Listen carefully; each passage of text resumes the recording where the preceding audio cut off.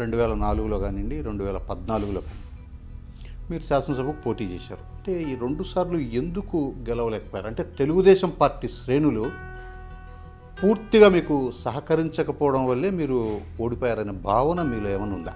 Tirupati parliament సీట్లో కూడా మేము ఓడిపోవడానికి తెలుగుదేశం యొక్క వ్యూహమే కారణం. రామారావు గారు ఉన్నప్పుడు తెలుగుదేశం వైఖరి వేరు. అంటే మీకు నెల్లూరు సిటీతో పోలిస్తే రూరల్లో మీ పార్టీ బలం తక్కువ. మరి మీరు సిటీ అడగకుండా రూరల్ వాళ్ళు ఇస్తే యాక్సెప్ట్ చేయడానికి కారణం ఏమంటారు? తెలంగాణలో కానీ ఇటు ఆంధ్రాలో కానీ అది హేతుబద్ధమైనటువంటి పొత్తు అని నేను భావించడం లేదు. కాబట్టి మేము అడిగినటువంటి సీట్లు వాళ్ళు ఇచ్చేటువంటి పరిస్థితులు కాదు.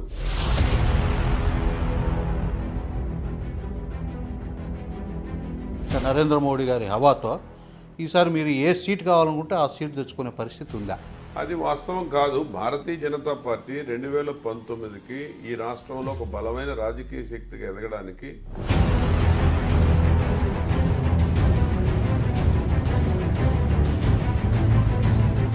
ఇప్పుడు బడ్జెట్లో కేంద్ర ప్రభుత్వం ఆంధ్రప్రదేశ్కు తీరని ద్రోహం చేసింది.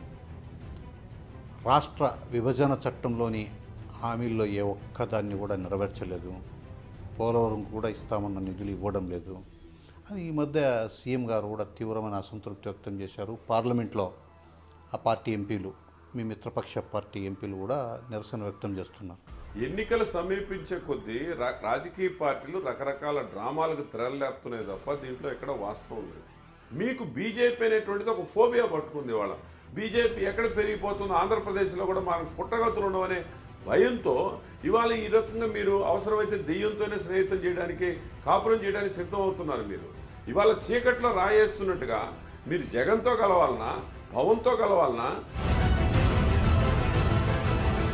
పోలవరం టెండర్లకు సంబంధించి రెండు వేల పద్దెనిమిది చివరి నాటికి మేము కంప్లీట్ చేయాలని చెప్పేసి వర్క్ స్పీడప్ చేస్తే సెంట్రల్ గవర్నమెంటే కావాలని టెండర్లను ఆపేసింది అనేది ఒక ప్రధాన ఆరోపణ. ముఖ్యమంత్రి గారే చేశారు.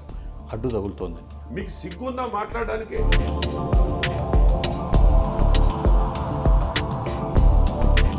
అవంతి శ్రీనివాస్ గారు అనకాపల్లి ఎంపీ ఆయన ఒక ఆరోపణ చేశాడు. రాష్ట్రంలో కాంగ్రెస్కు రెండు వేల పద్నాలుగులో ఏ గతి పట్టిందో బీజేపీకి కూడా అదే గతి పట్టబోతోందని ఆయన చెప్పారు. అవంతి శ్రీనివాస్ లాంటి వాళ్ళు చెప్తే రాజకీయ పాఠాలు మేము నేర్చుకోవాల్సిన అవసరం లేదు. భారతీయ జనతా పార్టీ దగ్గర కూడా మీరు చేసేటువంటి యొక్క ప్రయత్నాలు ఈ ఉద్యమాలు వెనక ఎవరున్నారు ఈ బంద్ వెనక ఎవరున్నారు అనేటువంటిది మా దగ్గర అంటే ఈ బంధు జరిగిన బంధు ఏదైతే కేంద్ర ప్రభుత్వానికి వ్యతిరేకంగా నడిచిందో ఆ బంధు తెలుగుదేశం పార్టీ ప్రోత్సహించి పెట్టించిన బందేది ఇది గతంలో అనేక సార్లు జరిగిన ఈ రాష్ట్రంలో. మీకు ఉదాహరణ నేను చెప్తాను. నంజాల్లో వైఎస్ఆర్సీపీని ఓడించడానికి కోసంగా అచ్చెన్నాయుడు కొంతమంది మంత్రులు మీ party assembly floor leader Vishnukumar Raju గారిని వైఎస్ఆర్సీపీ ఏజెంట్ అని ఒక ఆరోపణ చేశారు. విష్ణుకుమార్ రాజు గారు చెప్పింది ఏంటి? కనీసం వాళ్ళ చేత రిజైన్ చేయించి నువ్వు మంత్రి పదవి ఇచ్చుకో మళ్ళీ తిరిగి ఎలక్ట్ కావాలి వాళ్ళు అంతేగాని కనీసం వాళ్ళ పార్టీకి రిజైన్ చేయకపోయినా వాళ్ళు మీరేమో వాళ్ళకి మంత్రి పదవులు ఇస్తారా? వాళ్ళేమో దైవాంశ సంభూతులు చాలా పరిశుద్ధాత్మల. బీజేపీలో చేరినటువంటి పురంధరేశ్వరి కన్నా లక్ష్మణ వీళ్ళు మాత్రం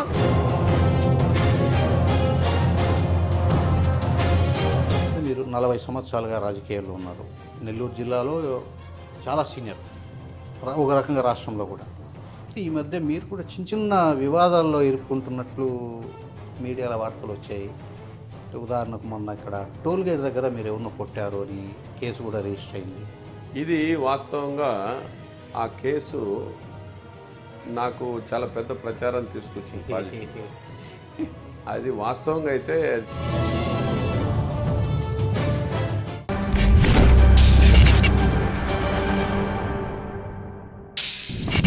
welcome to face to face with ఐడ్రన్ Nagesh నలభై సంవత్సరాలుగా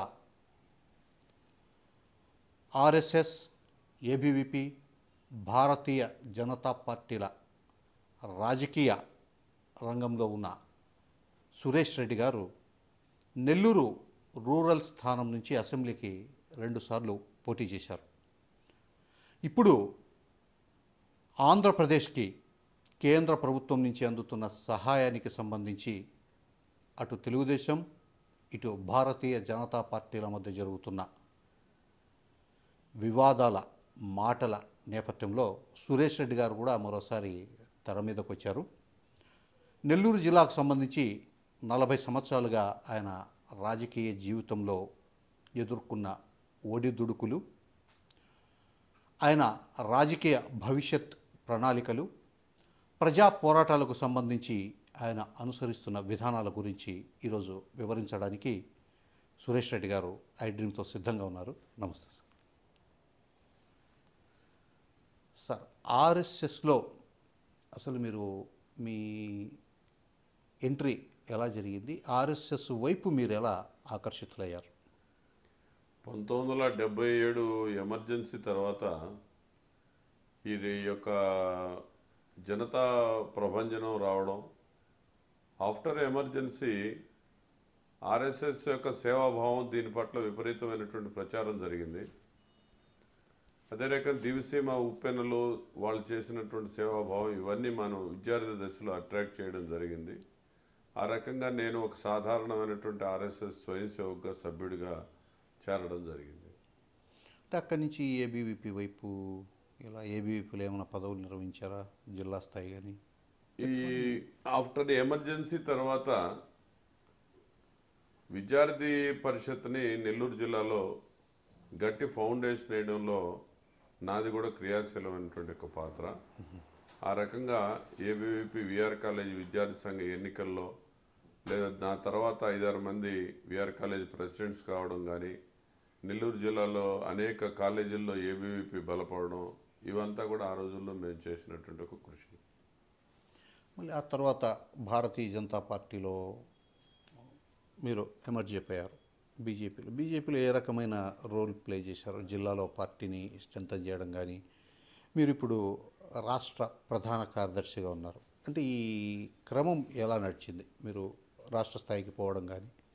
నేను విద్యార్థి దశ నుంచి కూడా విద్యార్థి ఉద్యమాల్లో చాలా కీలకంగా పాల్గొనేటువంటి ఒక పరిస్థితి నాది. ఆ రోజుల్లో కూడా ఈ కాలేజీలో ఉన్నటువంటి విద్యార్థుల యొక్క హాస్టల్ సమస్యలు కానివ్వండి విద్యార్థి రంగంలో యూజీసీ గ్రాంట్స్ అక్కడ వస్తున్నటువంటి యొక్క అవినీతి లేదా ఆ రోజుల్లో విఆర్ కాలేజీలో జరుగుతున్నటువంటి యొక్క పరిణామాలు వీటన్నిటిపైన కూడా పెద్ద ఎత్తున ఆందోళన చేసినటువంటి విషయం. విద్యార్థి పరిషత్లోనే మేము అన్ని వర్గాల యొక్క విద్యార్థుల్ని ఆకర్షించగలిగాం. హాస్టల్ విద్యార్థుల యొక్క సమస్యల గురించి ప్రత్యేకించి మా చిన్నతనంలోనే మేము ఎక్కువ పోరాటాలు సాగించడం జరిగింది. డొనేషన్స్కి వ్యతిరేకంగా ఆ రోజు పెద్ద ఎత్తున ఉద్యమాలు సాగించాం. ఆ రకంగా విద్యార్థి దశ నుంచే ఉద్యమాల బాటలోనే ఉంచి సమస్యలని ఎదుర్కొంటూ సమస్యల యొక్క పరిష్కారంలో అగ్రభాగాన్ని ఉంటూ ముందుకు రావడం జరిగింది.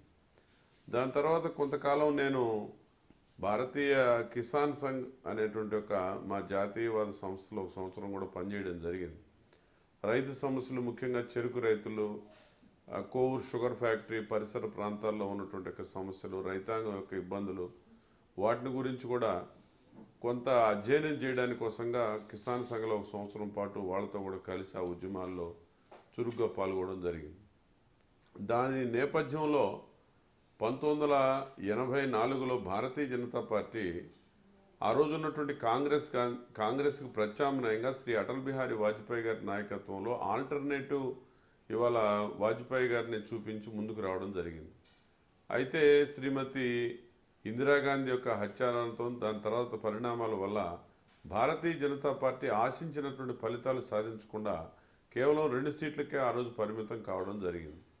సో దీని తర్వాత భారతీయ జనతా పార్టీ ఇంకేముంది అయిపోతుంది అనేటువంటి క్రమంలో ఆంధ్రప్రదేశ్లో కూడా బీజేపీని బలోపేతం చేయడానికి కోసంగా అనేక మంది వ్యక్తుల్ని మాలాంటి వాళ్ళని ఆర్ఎస్ఎస్లో ఉన్నటువంటి వాళ్ళని తీసుకోవడం జరిగింది.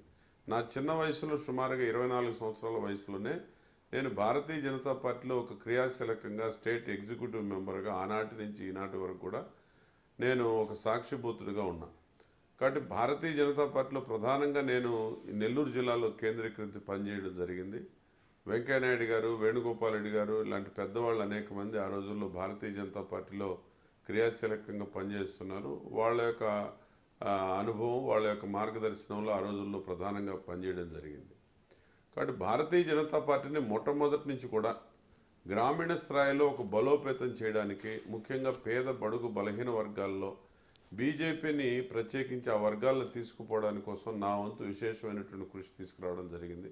ఆ రకంగా నెల్లూరు జిల్లాలో పార్టీని ఆ దిశలో ఇప్పటి వరకు కూడా ఈ యొక్క నలభై సంవత్సరాల్లో కూడా అనేక రకాలైనటువంటి కార్యక్రమాల్లో ముందుకు పోతుంది తెలుగుదేశం పార్టీతో కానీ ఇతర ఏ పార్టీలతో కానీ భారతీయ జనతా పార్టీ ఎన్నికల పొత్తు నిర్ణయం కాగానే మీ పేరు తెర మీదకి వస్తుంది. రెండు వేల నాలుగులో కానివ్వండి రెండు వేల పద్నాలుగులో కానీ మీరు శాసనసభకు పోటీ చేశారు. అంటే ఈ రెండు సార్లు ఎందుకు గెలవలేకపోయారు? అంటే తెలుగుదేశం పార్టీ శ్రేణులు పూర్తిగా మీకు సహకరించకపోవడం వల్లే మీరు ఓడిపోయారనే భావన మీలో ఏమైనా ఉందా? సహజంగా నేను మా విలేజ్లో సర్పంచ్గా నేను పనిచేశాను. విద్యార్థి రాజకీయాల్లో ఉన్నాను. అదే రకంగా రైతాంగ ఉద్యమాల్లో ఉన్నాను. భారతీయ జనతా పార్టీకి ఒక బలమైనటువంటి ఒక సిద్ధాంత భూమిక కలిగినటువంటి కమిట్మెంట్ కలిగిన కార్యకర్తగా రాజీ పడినటువంటి ఒక మనస్తత్వం ఏదైతుందో రాజకీయాలు కొన్ని ఎదురు దెబ్బలు తగులుతాయి. నేను అనేక సందర్భాల్లో నైన్టీన్ నైన్టీ నైన్లో కానివ్వండి లేదా నైన్టీన్ నైన్టీ ఫోర్లో కానీ ఇలా అనేక సందర్భాల్లో నాకు అవకాశం వచ్చినట్టే వచ్చి కొన్ని అవకాశాలు కూడా చేజారినటువంటి పరిస్థితులు కూడా ఉండేది. పంతొమ్మిది వందల తొంభై తొమ్మిదిలో బీజేపీ తెలుగుదేశం యొక్క వేవ్ విపరీతంగా ఉన్నప్పుడు ఆ రోజుల్లో ఇక్కడ మాకు అవకాశాలు రాలేదు. రెండు వేల నాలుగులో వ్యతిరేకత ఉన్నప్పుడు మాకు అవకాశం వచ్చింది. కేవలం తెలుగుదేశం మనకు చేయలేదు కాబట్టి ఓడిపోయామనేది కాదు. ఆ రకమైనటువంటి పరిణామాలు తెలుగుదేశం బీజేపీ కలిసినప్పుడు ఈ రామారావు గారు ఉన్నప్పుడు తెలుగుదేశం వైఖరి వేరు. అలా తర్వాత పరిణామ క్రమంలో జరిగినటువంటి ఒక వాతావరణం ఏంటంటే బీజేపీ ఎంతైతే కాంగ్రెస్ని వ్యతిరేకించాలా కాంగ్రెస్ని ఓడించాలనేటువంటి ధోరణితో మనం పొత్తు కుదుర్చుకొని ముందుకెళ్తామో అదే ధోరణి తెలుగుదేశంలో ఉన్నటువంటి ఒక అధినాయకత్వంలో లేకపోవడం వల్ల అనేక సార్లు మాలాంటి నిజాయితీ పరులైనటువంటి కమిట్మెంట్ కలిగినటువంటి లీడర్స్ ఆ రోజు ఆ యొక్క విజయాన్ని మేము అందిపుచ్చుకోలేకున్నటువంటి పరిస్థితులు. అందువల్ల అది కూడా ఒక కారణం. అయితే అయినప్పటికీ మేము కమిట్మెంట్ కలిగినటువంటి కార్యకర్తలం కాబట్టి మేము ముందుకు వెళ్తూ ఉంటాం. రెండు వేల పద్నాలుగుకి వచ్చినప్పటికీ కేవలం పదమూడు రోజులు మాత్రమే ఎన్నికల అవకాశం ఉన్నది. ఆ రోజు కూడా సోమిరెడ్డి చంద్రమోహన్ రెడ్డి గారు నెల్లూరు రూరల్ కావాలని వారు అడగడం వాస్తవంగా అయితే మాకు తెలియదు భారతీయ జనతా పార్టీగా మేము ఈ సీటు మాకు వాళ్ళు ఇచ్చారు. అయితే వాళ్ళల్లో ఉన్నటువంటి వివాదాల కారణం చేత ఆయన సర్వేపల్లిలోనే ఉంచాలనేది అధిష్టాన వర్గం నిర్ణయం అయినందువల్ల ఆ కన్ఫ్యూజన్ అనేటువంటిది కొంత భారతీయ జనతా పార్టీకి నష్టం జరిగింది. అదే రకంగా ఇవాళ పార్లమెంట్లో తెలుగుదేశానికి వాళ్ళు మంచి ఓట్లు తీసుకొచ్చుకొని అసెంబ్లీకి వస్తేకే వాళ్ళు నీరుగార్చినటువంటి విషయం రెండు వేల పద్నాలుగు ఎన్నికల్లో చాలా స్పష్టంగా జరిగింది. రెండు వేల పద్నాలుగులో వాస్తవంగా ఇవాళ డబ్బులు లేకనే లేకపోతే మిగతా రకాలైనటువంటి విషయాల్లో మేము నిజాయితీగానే ఒక గెలిపోవటం ప్రసక్తి లేకుండా మనం డివేట్ కాకుండా ఉండిపోయాం కాబట్టి మేము అలా ఉండిపోయాం. ఆ- ఎన్నికల్లో ఖచ్చితంగా ఈ జిల్లాలో భారతీయ జనతా పార్టీకి అన్యాయం జరిగింది. తిరుపతి పార్లమెంట్ సీట్లో కూడా మేము ఓడిపోవడానికి తెలుగుదేశం యొక్క వ్యూహమే కారణం. అదే రకంగా ఇక్కడ కూడా మేము ఓటమికి కొంతవరకు తెలుగుదేశం అనుసరించినటువంటి వ్యూహం. పార్లమెంట్లో మేము గెలిస్తే చాలు.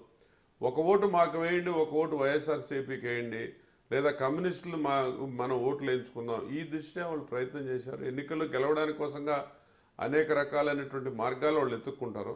కానీ భారతీయ జనతా పార్టీకి ఉన్నటువంటిది ఒకే మార్గం. మేము చెప్పినటువంటి సిద్ధాంతం ప్రకారం ప్రజల్లోకి వెళ్ళాలా? నరేంద్ర మోడీ నాయకత్వాన్ని దృష్టిలో పెట్టుకొని మేము ముందుకెళ్ళడం జరిగింది. కాబట్టి ఎన్నికల్లో ఓటమి అనేటువంటిది ఒక అనుభవంగా తీసుకొని ముందుకు పోవడం తప్ప మాకు వేరే మార్గం లేదు. కాబట్టి ఆ ప్రయాణం అలా కొనసాగుతుంది లేదా అప్పట్లో పార్లమెంట్ అభ్యర్థి ఆదాల ప్రభాకర్ రెడ్డి గారు వైఎస్ఆర్ కాంగ్రెస్ పార్టీ అభ్యర్థి కోటమిరెడ్డి శ్రీధర్ రెడ్డి గారు ఒకటి. అది మీరు చెప్పినట్లు పార్లమెంటుకు అసెంబ్లీకి అని ప్రచారం చేయడం వల్లే మీరు ఓడిపోయినామంటారు. అయితే ఈ విషయం మీరు మీ పార్టీ హైకమాండ్కి కానీ ఎవరు కంప్లైంట్ చేయలేదా? ఈ రకంగా పొత్తులో ఈ రకంగా చేశారు. అందరికీ తెలిసినటువంటి నగ్న సత్యం. అయితే ఓడిపోవడానికి అది ఒకటే కారణం అని చెప్పేసి నేను అది కూడా ఒక కారణం. అయితే ఎన్నికల్లో ఒకసారి గెలుపు ఏ రకంగా జరిగిన గెలుపు గెలుపే? ఓటమి ఓటమే కాబట్టి ఓటమిని గురించి చింతిస్తూ నిత్యం కూర్చొని దాని గురించే మనం కంప్లైంట్లు పెట్టుకొని కుదిరేది కాదు ఇది. ఎందుకంటే మిత్రపక్షంగా వాళ్ళు ఉన్నారు. మిత్రపక్షంగా ఉన్నప్పుడు మనం ప్రజా సమస్యలు తీసుకొని ముందుకు నడవాల్సింది తప్ప నిరంతరం దాని మీదనే పెట్టుకొని అధిష్టానం కంప్లైంట్ చేసి జరిగే పనేం కాదు అది. అందువల్ల వాస్తవం అనేటువంటిది ప్రజలకు తెలుసు. ఆ రకంగా భారతీయ జనతా పార్టీకి ముఖ్యంగా నెల్లూరులో మాకు ఆ రకంగా నష్టం జరిగింది. మా క్యాడర్ ఏమో సిన్సియర్గా అటు పనిచేస్తుంది తప్ప అటువైపు నుంచి రావాల్సినటువంటి కోఆపరేషన్ ఇటువైపు రాలేదనేటువంటిది అది వాస్తవం. అంటే మీకు నెల్లూరు సిటీతో పోలిస్తే రూరల్లో మీ పార్టీ బలం తక్కువ. మరి మీరు సిటీ అడగకుండా రూరల్ వాళ్ళు ఇస్తే యాక్సెప్ట్ చేయడానికి కారణం ఏమంటారు? అంటే వాస్తవంగా భారతీయ జనతా పార్టీకి ఇచ్చిన సీట్లే తక్కువ. ఆ ఇచ్చిన సీట్లలో కూడా మేము అడిగిన సీట్లు తెలుగుదేశం ఎప్పుడు కూడా ఇవ్వదు. మీకు తెలుసు. ఈ బార్గెనింగ్ కెపాసిటీ అనేటువంటిది ఇవాళ భారతీయ జనతా పార్టీ ఆంధ్రప్రదేశ్లో ఉన్నటువంటి అనేక మంది నాయకులు చాలా గట్టిగా కొట్లాడారు. మేము స్వతంత్రంగా పోటీ చేస్తాం. నరేంద్ర మోడీ నాయకత్వంలో రెండు వేల పద్నాలుగులో భారతీయ జనతా పార్టీకి అనుకూలమైన వాతావరణం ఉంది. ఈ పరిస్థితుల్లో మనం మన యొక్క బేస్ని విస్తరించుకోవడానికి కోసంగా తప్పనిసరిగా స్వతంత్రంగా పోటీ చేయాలనే ఆలోచన మేమందరం కూడా చేశాం.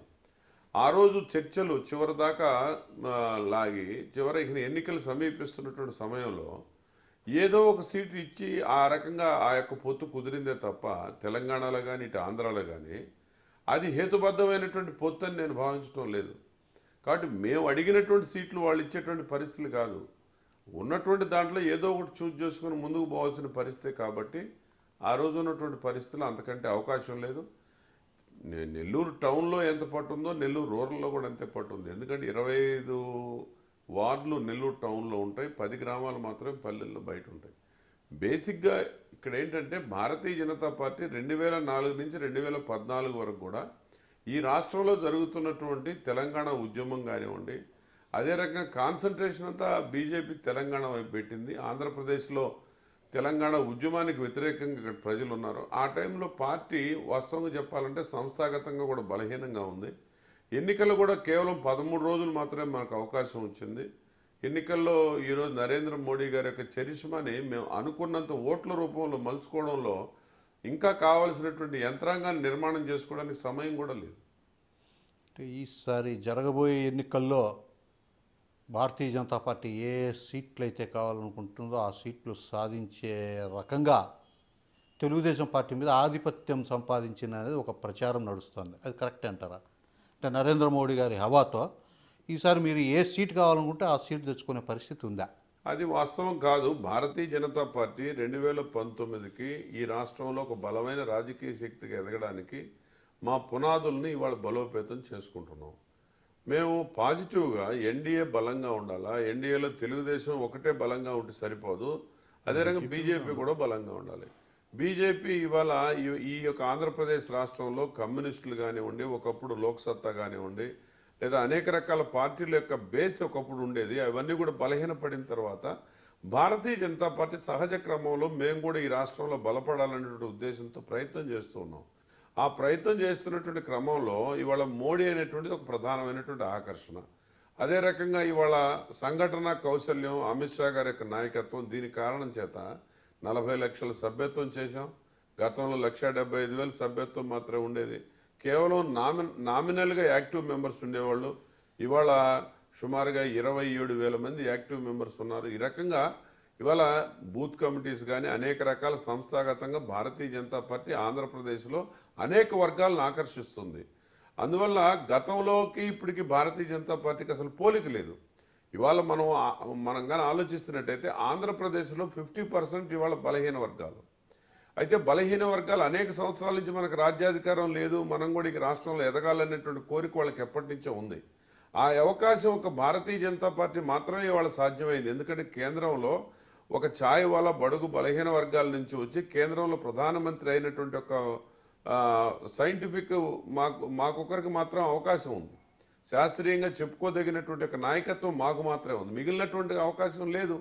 ఇవాళ తెలుగుదేశం కానీ వైఎస్ఆర్సీపీ కానీ ఆ వర్గాలకు నాయకత్వం ఇచ్చేటువంటి అవకాశం లేదు. కాబట్టి ఒక బడుగు బలహీన వర్గాల లీడర్ అయినటువంటి ఈరోజు ప్రజానాయకుడు అయినటువంటి నరేంద్ర మోడీ గారిని మేము ముందుకెళ్ళినట్టయితే రేపు పార్లమెంట్లో ఓబీసీ బిల్లు కూడా చట్టబద్ధత కాబోతోంది కమిషన్ కూడా రాబోతోంది. సో అనేక సంవత్సరాలుగా వాళ్ళ యొక్క కోరిక ఈ నెరవేరేటువంటి రోజులు బీజేపీ ద్వారా సాధ్యం అవుతున్నాయి మరొక వైపున ఇవాళ ఈ దళిత సమాజం ఏదైతే ఉందో దళిత సోదరులు ఎవరైతే ఉన్నారో వాళ్ళు ఇవాళ రామ్నాథ్ కోవింద్ని ఎప్పుడైతే పెద్దలు ఆయన మేధావిగా ఆయనకి ఇవ్వడం వలన ఇవాళ దళిత వర్గాల్లో కూడా భారతీయ జనతా పార్టీ పట్ల సానుకూలమైన వాతావరణం ఏర్పడింది. మరొక వైపున ఇవాళ తలాక్ తలాక్ బిల్లు ఉంది. ముస్లిం మైనారిటీస్ యొక్క మహిళలు అనేక సంవత్సరాలుగా తలాక్ తలాక్ అనేటువంటి చట్టం వల్ల వాళ్ళ జీవితాలు ఎంతో ఇబ్బంది పడ్డారు.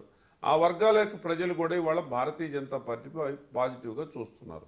అందువల్ల గతంలో భారతీయ జనతా పార్టీకి ఈ రోజు ఉన్నటువంటి భారతీయ జనతా పార్టీకి పోలిక లేదు. కాబట్టి భారతీయ జనతా పార్టీ తెలుగుదేశాన్ని శాసించి సీట్లు తీసుకొచ్చుకోవాలా?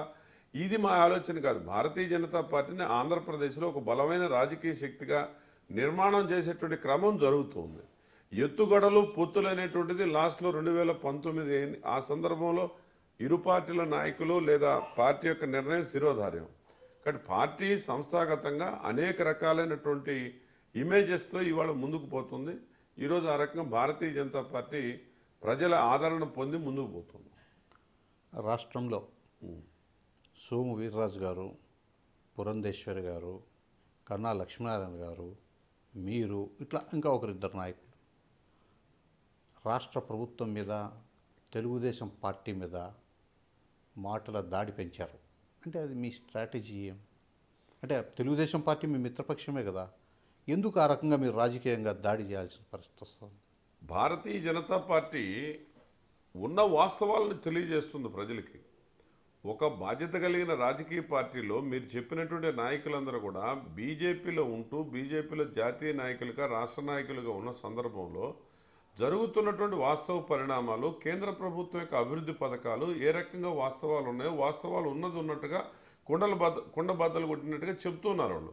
అంతే తప్ప దీంట్లో ఏదో కుట్రలు కుతంత్రాలు ఉన్నాయని నేను అనుకోవట్లేదు. ఇవాళ తెలుగుదేశం పార్టీ ఇక్కడ ఒక బలమైన రాజకీయ పార్టీ వాళ్ళకి ఇవాళ అనేక రకాలైనటువంటి మాధ్యమాలు వాళ్ళకు అనుకూలంగా పనిచేస్తున్నాయి. అలాంటి క్రమంలో భారతీయ జనతా పార్టీ నరేంద్ర మోడీ గారి వాళ్ళ నూట ఏడు రకాల సంక్షేమ అభివృద్ధి కార్యక్రమాలు ప్రవేశపెట్టాడు. అవన్నీ కూడా క్షేత్రస్థాయిలో ప్రజలకు తెలియాల్సినటువంటి అవసరం ఉంది. అందువల్ల ఇవాళ భారతీయ జనతా పార్టీ ఆ రకంగా అనేక వర్గాల యొక్క ప్రజలు బీజేపీ వైపు అట్రాక్ట్ అవుతున్నారు. కాబట్టి తెలుగుదేశం పార్టీ అవన్నీ కూడా చెప్పేటువంటి పరిస్థితిలో లేదు ఇవాళ. ఎందుకంటే అది ఒక రాజకీయ పార్టీ. మేము ఎన్నికల్లో కలిసి పనిచేస్తున్నటువంటి మాత్రాన ఇవాళ ఒక కేజీ బియ్యానికి ఇరవై ఏడు రూపాయల సబ్సిడీ ఉంది. అదే రకంగా ఓల్డేజ్ పెన్షన్ వితంతు పెన్షన్లు అన్నిటికీ కూడా కేంద్ర సహకారం ఉంది. ఇవాళ ఎస్సీ ఎస్టీ విద్యార్థుల యొక్క ఉపకార వేతనాలు కేంద్రం నుంచి వస్తున్నాయి.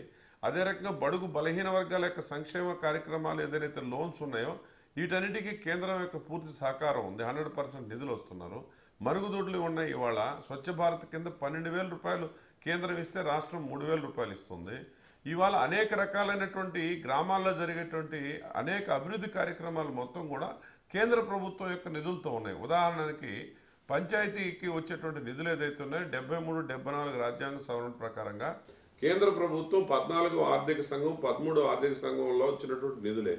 కాబట్టి భారతీయ జనతా పార్టీ చెప్పేది ఏంటంటే రాష్ట్ర ప్రభుత్వం ప్రచారం చేసుకోవాలి. దాంతో సేమ్ టైం కేంద్ర ప్రభుత్వం యొక్క ప్రచారం కూడా ఉండాలి. కాంగ్రెస్ ఆ- ఆ రోజుల్లో సోనియా గాంధీ రాజశేఖర్ రెడ్డి సోనియా గాంధీ రోషే గారు సోనియా గాంధీ కిరణ్ కుమార్ రెడ్డి గారి ఫోటోలు అన్ని దగ్గర కూడా ప్రచారం అయ్యాయి. కానీ ఇవాళ అలాంటి ఒక అవకాశం లేదు. ఇంత పెద్ద ఎత్తున కేంద్ర ప్రభుత్వం నిధులిస్తున్నప్పటికీ కూడా ఎక్కడా కూడా నరేంద్ర మోడీ చిత్రపటం ఎందుకు లేదు? ఒక బడుగు బలహీన వర్గాల నాయకుడు ముప్పై సంవత్సరాల తర్వాత సుస్థిర ప్రభుత్వాన్ని ఇచ్చినటువంటి ఒక వ్యక్తి అలాంటి ప్రపంచంలోనే ఇవాళ భారతీయులకి ఒక సరైనటువంటి ఒక దిక్సూచిగా ఆయన పనిచేస్తున్నప్పుడు ఆయన ఫోటో పెట్టుకోవడానికి ఎందుకని భయపడుతుంది ఇవాళ? ఈ రాష్ట్ర ప్రభుత్వం తప్పు కదా? ఇవాళ మనం మిత్రపక్షమైనప్పుడు ముందుగా మీరే చేయాల్సినటువంటి పనిని బీజేపీ నాయకులు క్వశ్చన్ చేశారంటే ఎందుకు బాధపడుతున్నారు మీరు? మేము అడిగేది న్యాయము ధర్మం. అంతే తప్ప లేనిది గొంతెమ్మ కోరిక మేము కోరడం లేదు. కాబట్టి కేంద్రం చేస్తున్నది రాష్ట్రం చేసినటువంటిది రెండు కూడా ప్రజల దగ్గరికి సైమల్టేనియస్గా వెళ్ళాలా? న్యాయ నిపుణులు ప్రజలు. ప్ర- బీజేపీ చేయలేదనేటువంటి విషయం ఏదైనా ఉంటే మేము స్వాగతిస్తాం మాట్లాడదాం. మేము కూడా కలిసి అవసరమైతే కేంద్ర ప్రభుత్వంతో మాట్లాడదాం. కానీ నిజంగా చేస్తున్నటువంటి విషయాన్ని మీరు ప్రచారం చేయకుండా ఎక్కడ జన్మభూమి కమిటీలు జరిగినా ఎక్కడ ఇంకో కార్యక్రమాలు జరిగినా బీజేపీ నాయకులు ఎక్కడ ఉండరు. అదే రకంగా బీజేపీ యొక్క కా- కార్యక్రమాలు ఎక్కడ కూడా కేంద్ర ప్రభుత్వం ఎన్డీఏ ప్రభుత్వం యొక్క కార్యక్రమాలు ప్రచారంలోకి రావడం లేదు కాబట్టి ఇవాళ ఇన్ని విషయాలు మేము చెప్పాల్సి వస్తుంది. అందువల్ల ఈ రకమైనటువంటి ఒక ఆ, ఎత్తుగడగా అని మీరు భావించవచ్చు. ఎత్తుగడ కాదు అది. ఒకవేళ ఒక బాధ్యత కలిగిన ఒక రాజకీయ పార్టీగా నరేంద్ర మోడీ గారు ఇన్ని రకాల కార్యక్రమాలు ఈ రాష్ట్రంలో ఇస్తున్నప్పుడు అవి తెలియజెప్పాల్సినటువంటి బాధ్యత మా మీద ఉంది. ఇప్పుడు బడ్జెట్లో కేంద్ర ప్రభుత్వం ఆంధ్రప్రదేశ్కు తీరని ద్రోహం చేసింది. రాష్ట్ర విభజన చట్టంలోని హామీల్లో ఏ ఒక్కదాన్ని కూడా నెరవేర్చలేదు. పోలవరం కూడా ఇస్తామన్న నిధులు ఇవ్వడం లేదు. అది ఈ మధ్య సీఎం గారు కూడా తీవ్రమైన అసంతృప్తి వ్యక్తం చేశారు. పార్లమెంట్లో ఆ పార్టీ ఎంపీలు మీ మిత్రపక్ష పార్టీ ఎంపీలు కూడా నిరసన వ్యక్తం చేస్తున్నారు. ఎన్నికలు సమీపించే కొద్దీ రా- రాజకీయ పార్టీలు రకరకాల డ్రామాలకు తెరలేపుతున్నాయి తప్ప దీంట్లో ఎక్కడ వాస్తవం లేదు. ఇవాళ మనం ప్రజలకి మీ ద్వారా కొన్ని విషయాలు వాస్తవాలు తెలియాలి? మన రాష్ట్రంలో సమైక్యవాద ఉద్యమం జరిగినప్పుడు సిపిఐ కానీ సిపిఎం కానీ ఎక్కడున్నాయి? సిపిఐ ఏమో తెలంగాణకు సపోర్ట్ చేస్తూ ఆంధ్రప్రదేశ్కు పూర్తి ద్రోహం చేసింది. ఆంధ్రప్రదేశ్కు ద్రోహులు ఎవరన్నా ఉంటే ఫస్ట్ సిపిఐ పార్టీ.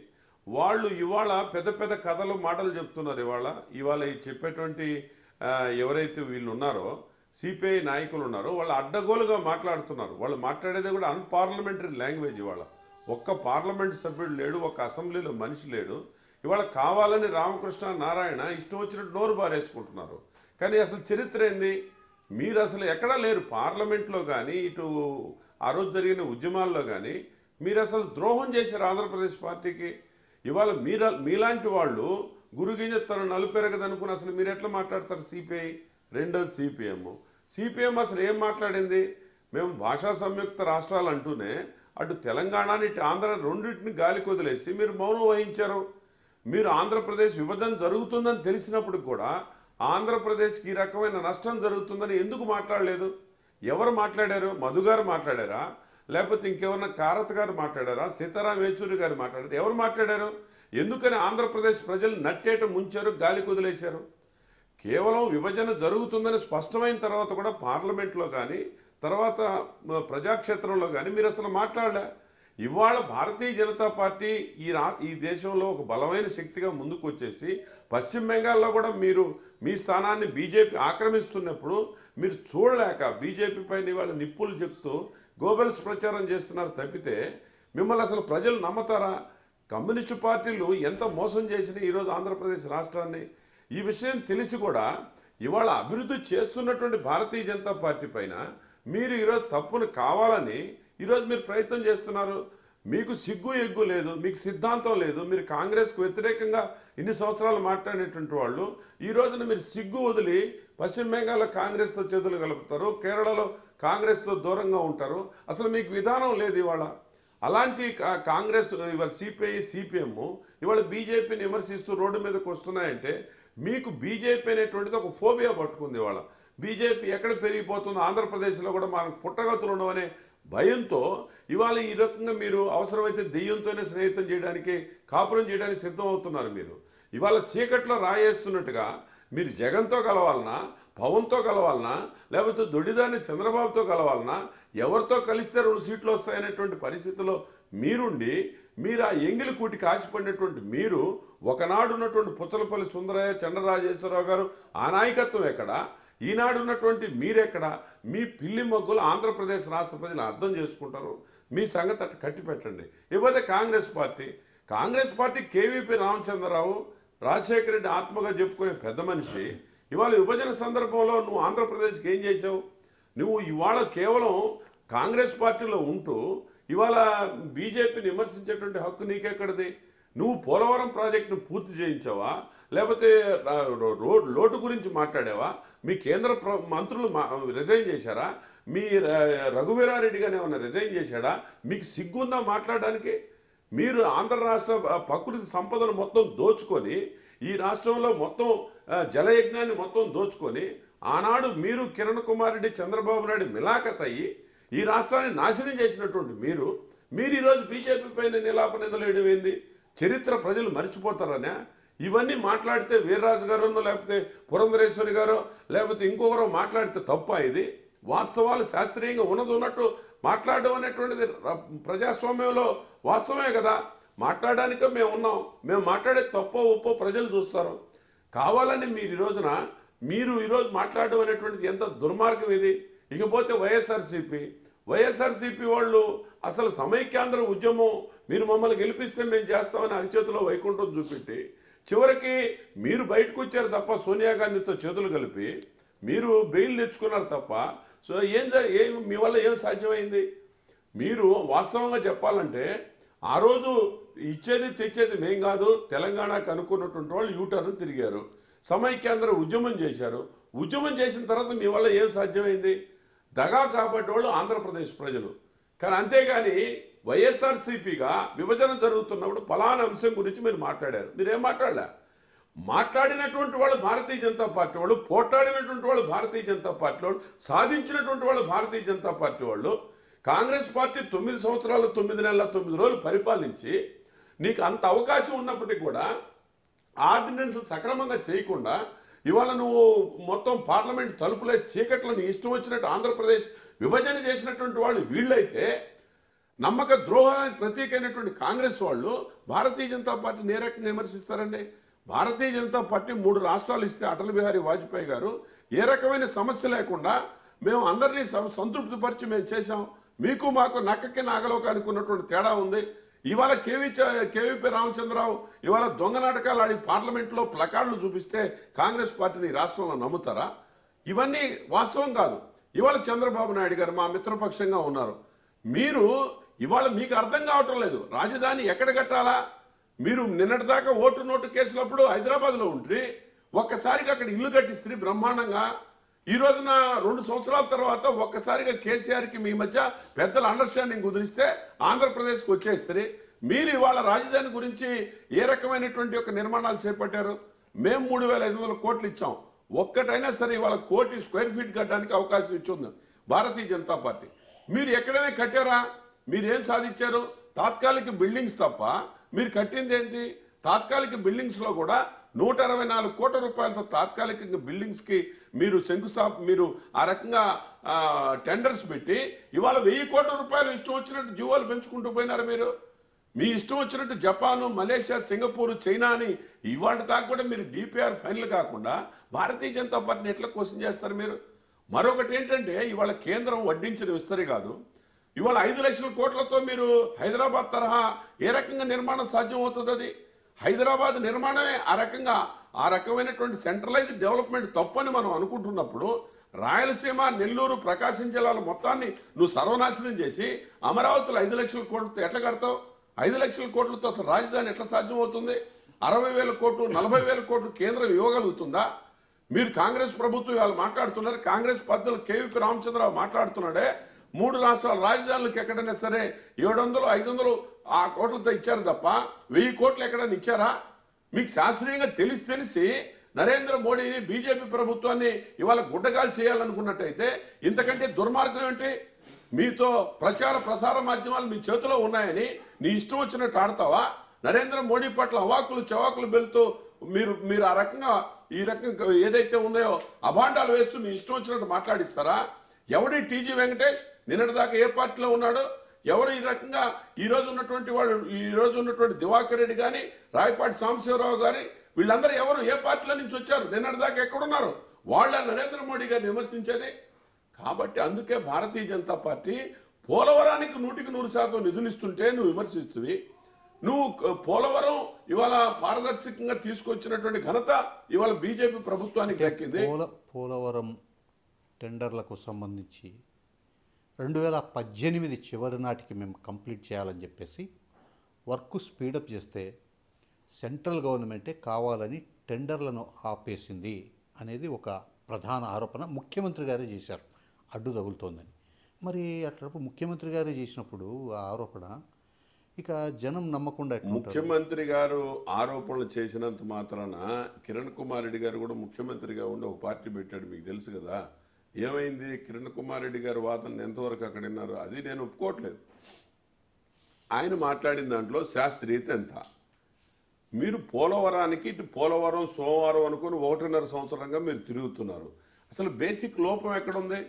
టాల్స్రాయ్ కంపెనీకి మీరు టెండర్స్ ఇవ్వడమే లోపభూయిష్టం అని అనేక రకాల కథనాలు వచ్చి టీవీ నైన్లో కానీ ఈటీవీ టూలో కానీ జనం గగ్గోలు పెట్టి వాళ్ళు కట్టలేరే వాళ్ళ సామర్థ్యత లేనప్పుడు మేము చేస్తాం సోమవారం పోలవరం అని అంటూ నువ్వు వెళ్ళి ఆడ ఆ, శక్తి లేనటువంటి కంపెనీని పెట్టుకొని మీరు ఊరికనే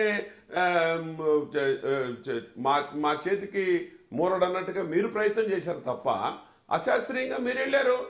వాస్తవంగా ఇవాళ ప్రయత్నం చేస్తున్నారు. రెండు సంవత్సరాల తర్వాత టాల్స్టాయ్ కంపెనీని కాకుండా ఇంకో కంపెనీ తీసుకొస్తాను. ఏ కంపెనీ అనేది తీసుకురండి. మేము టెండర్స్ ప్రక్రియను తవ్వుబట్టలేదు. శాస్త్రీయంగా పారదర్శకంగా టెండర్స్ ఉండాలా? ఏపీ వెబ్సైట్లో మీరు ఇవ్వాల్సినటువంటి టైం ఇవ్వకుండా ఎందుకు వారం రోజులు డాక్ చేశారు? ఎందుకు వంద కోట్ల రూపాయలు వారం రోజుల లోపల పెంచేశారు? ఇది తప్పు కాదా? ఇవాళ కేంద్రంలో ఉన్నటువంటి ప్రభుత్వం ఇవాళ ప్రజల యొక్క డబ్బు అది. మేము దానికి కూర్చునే గాడిగా ఉన్నాం. అంతే తప్ప మీ ఇష్టం వచ్చినట్టు చేస్తే కేంద్ర ప్రభుత్వం దానికంటూ ఒక చట్టం ఉంటుంది ఒక దానికి ఒక పద్ధతి ఉంటుంది కదా?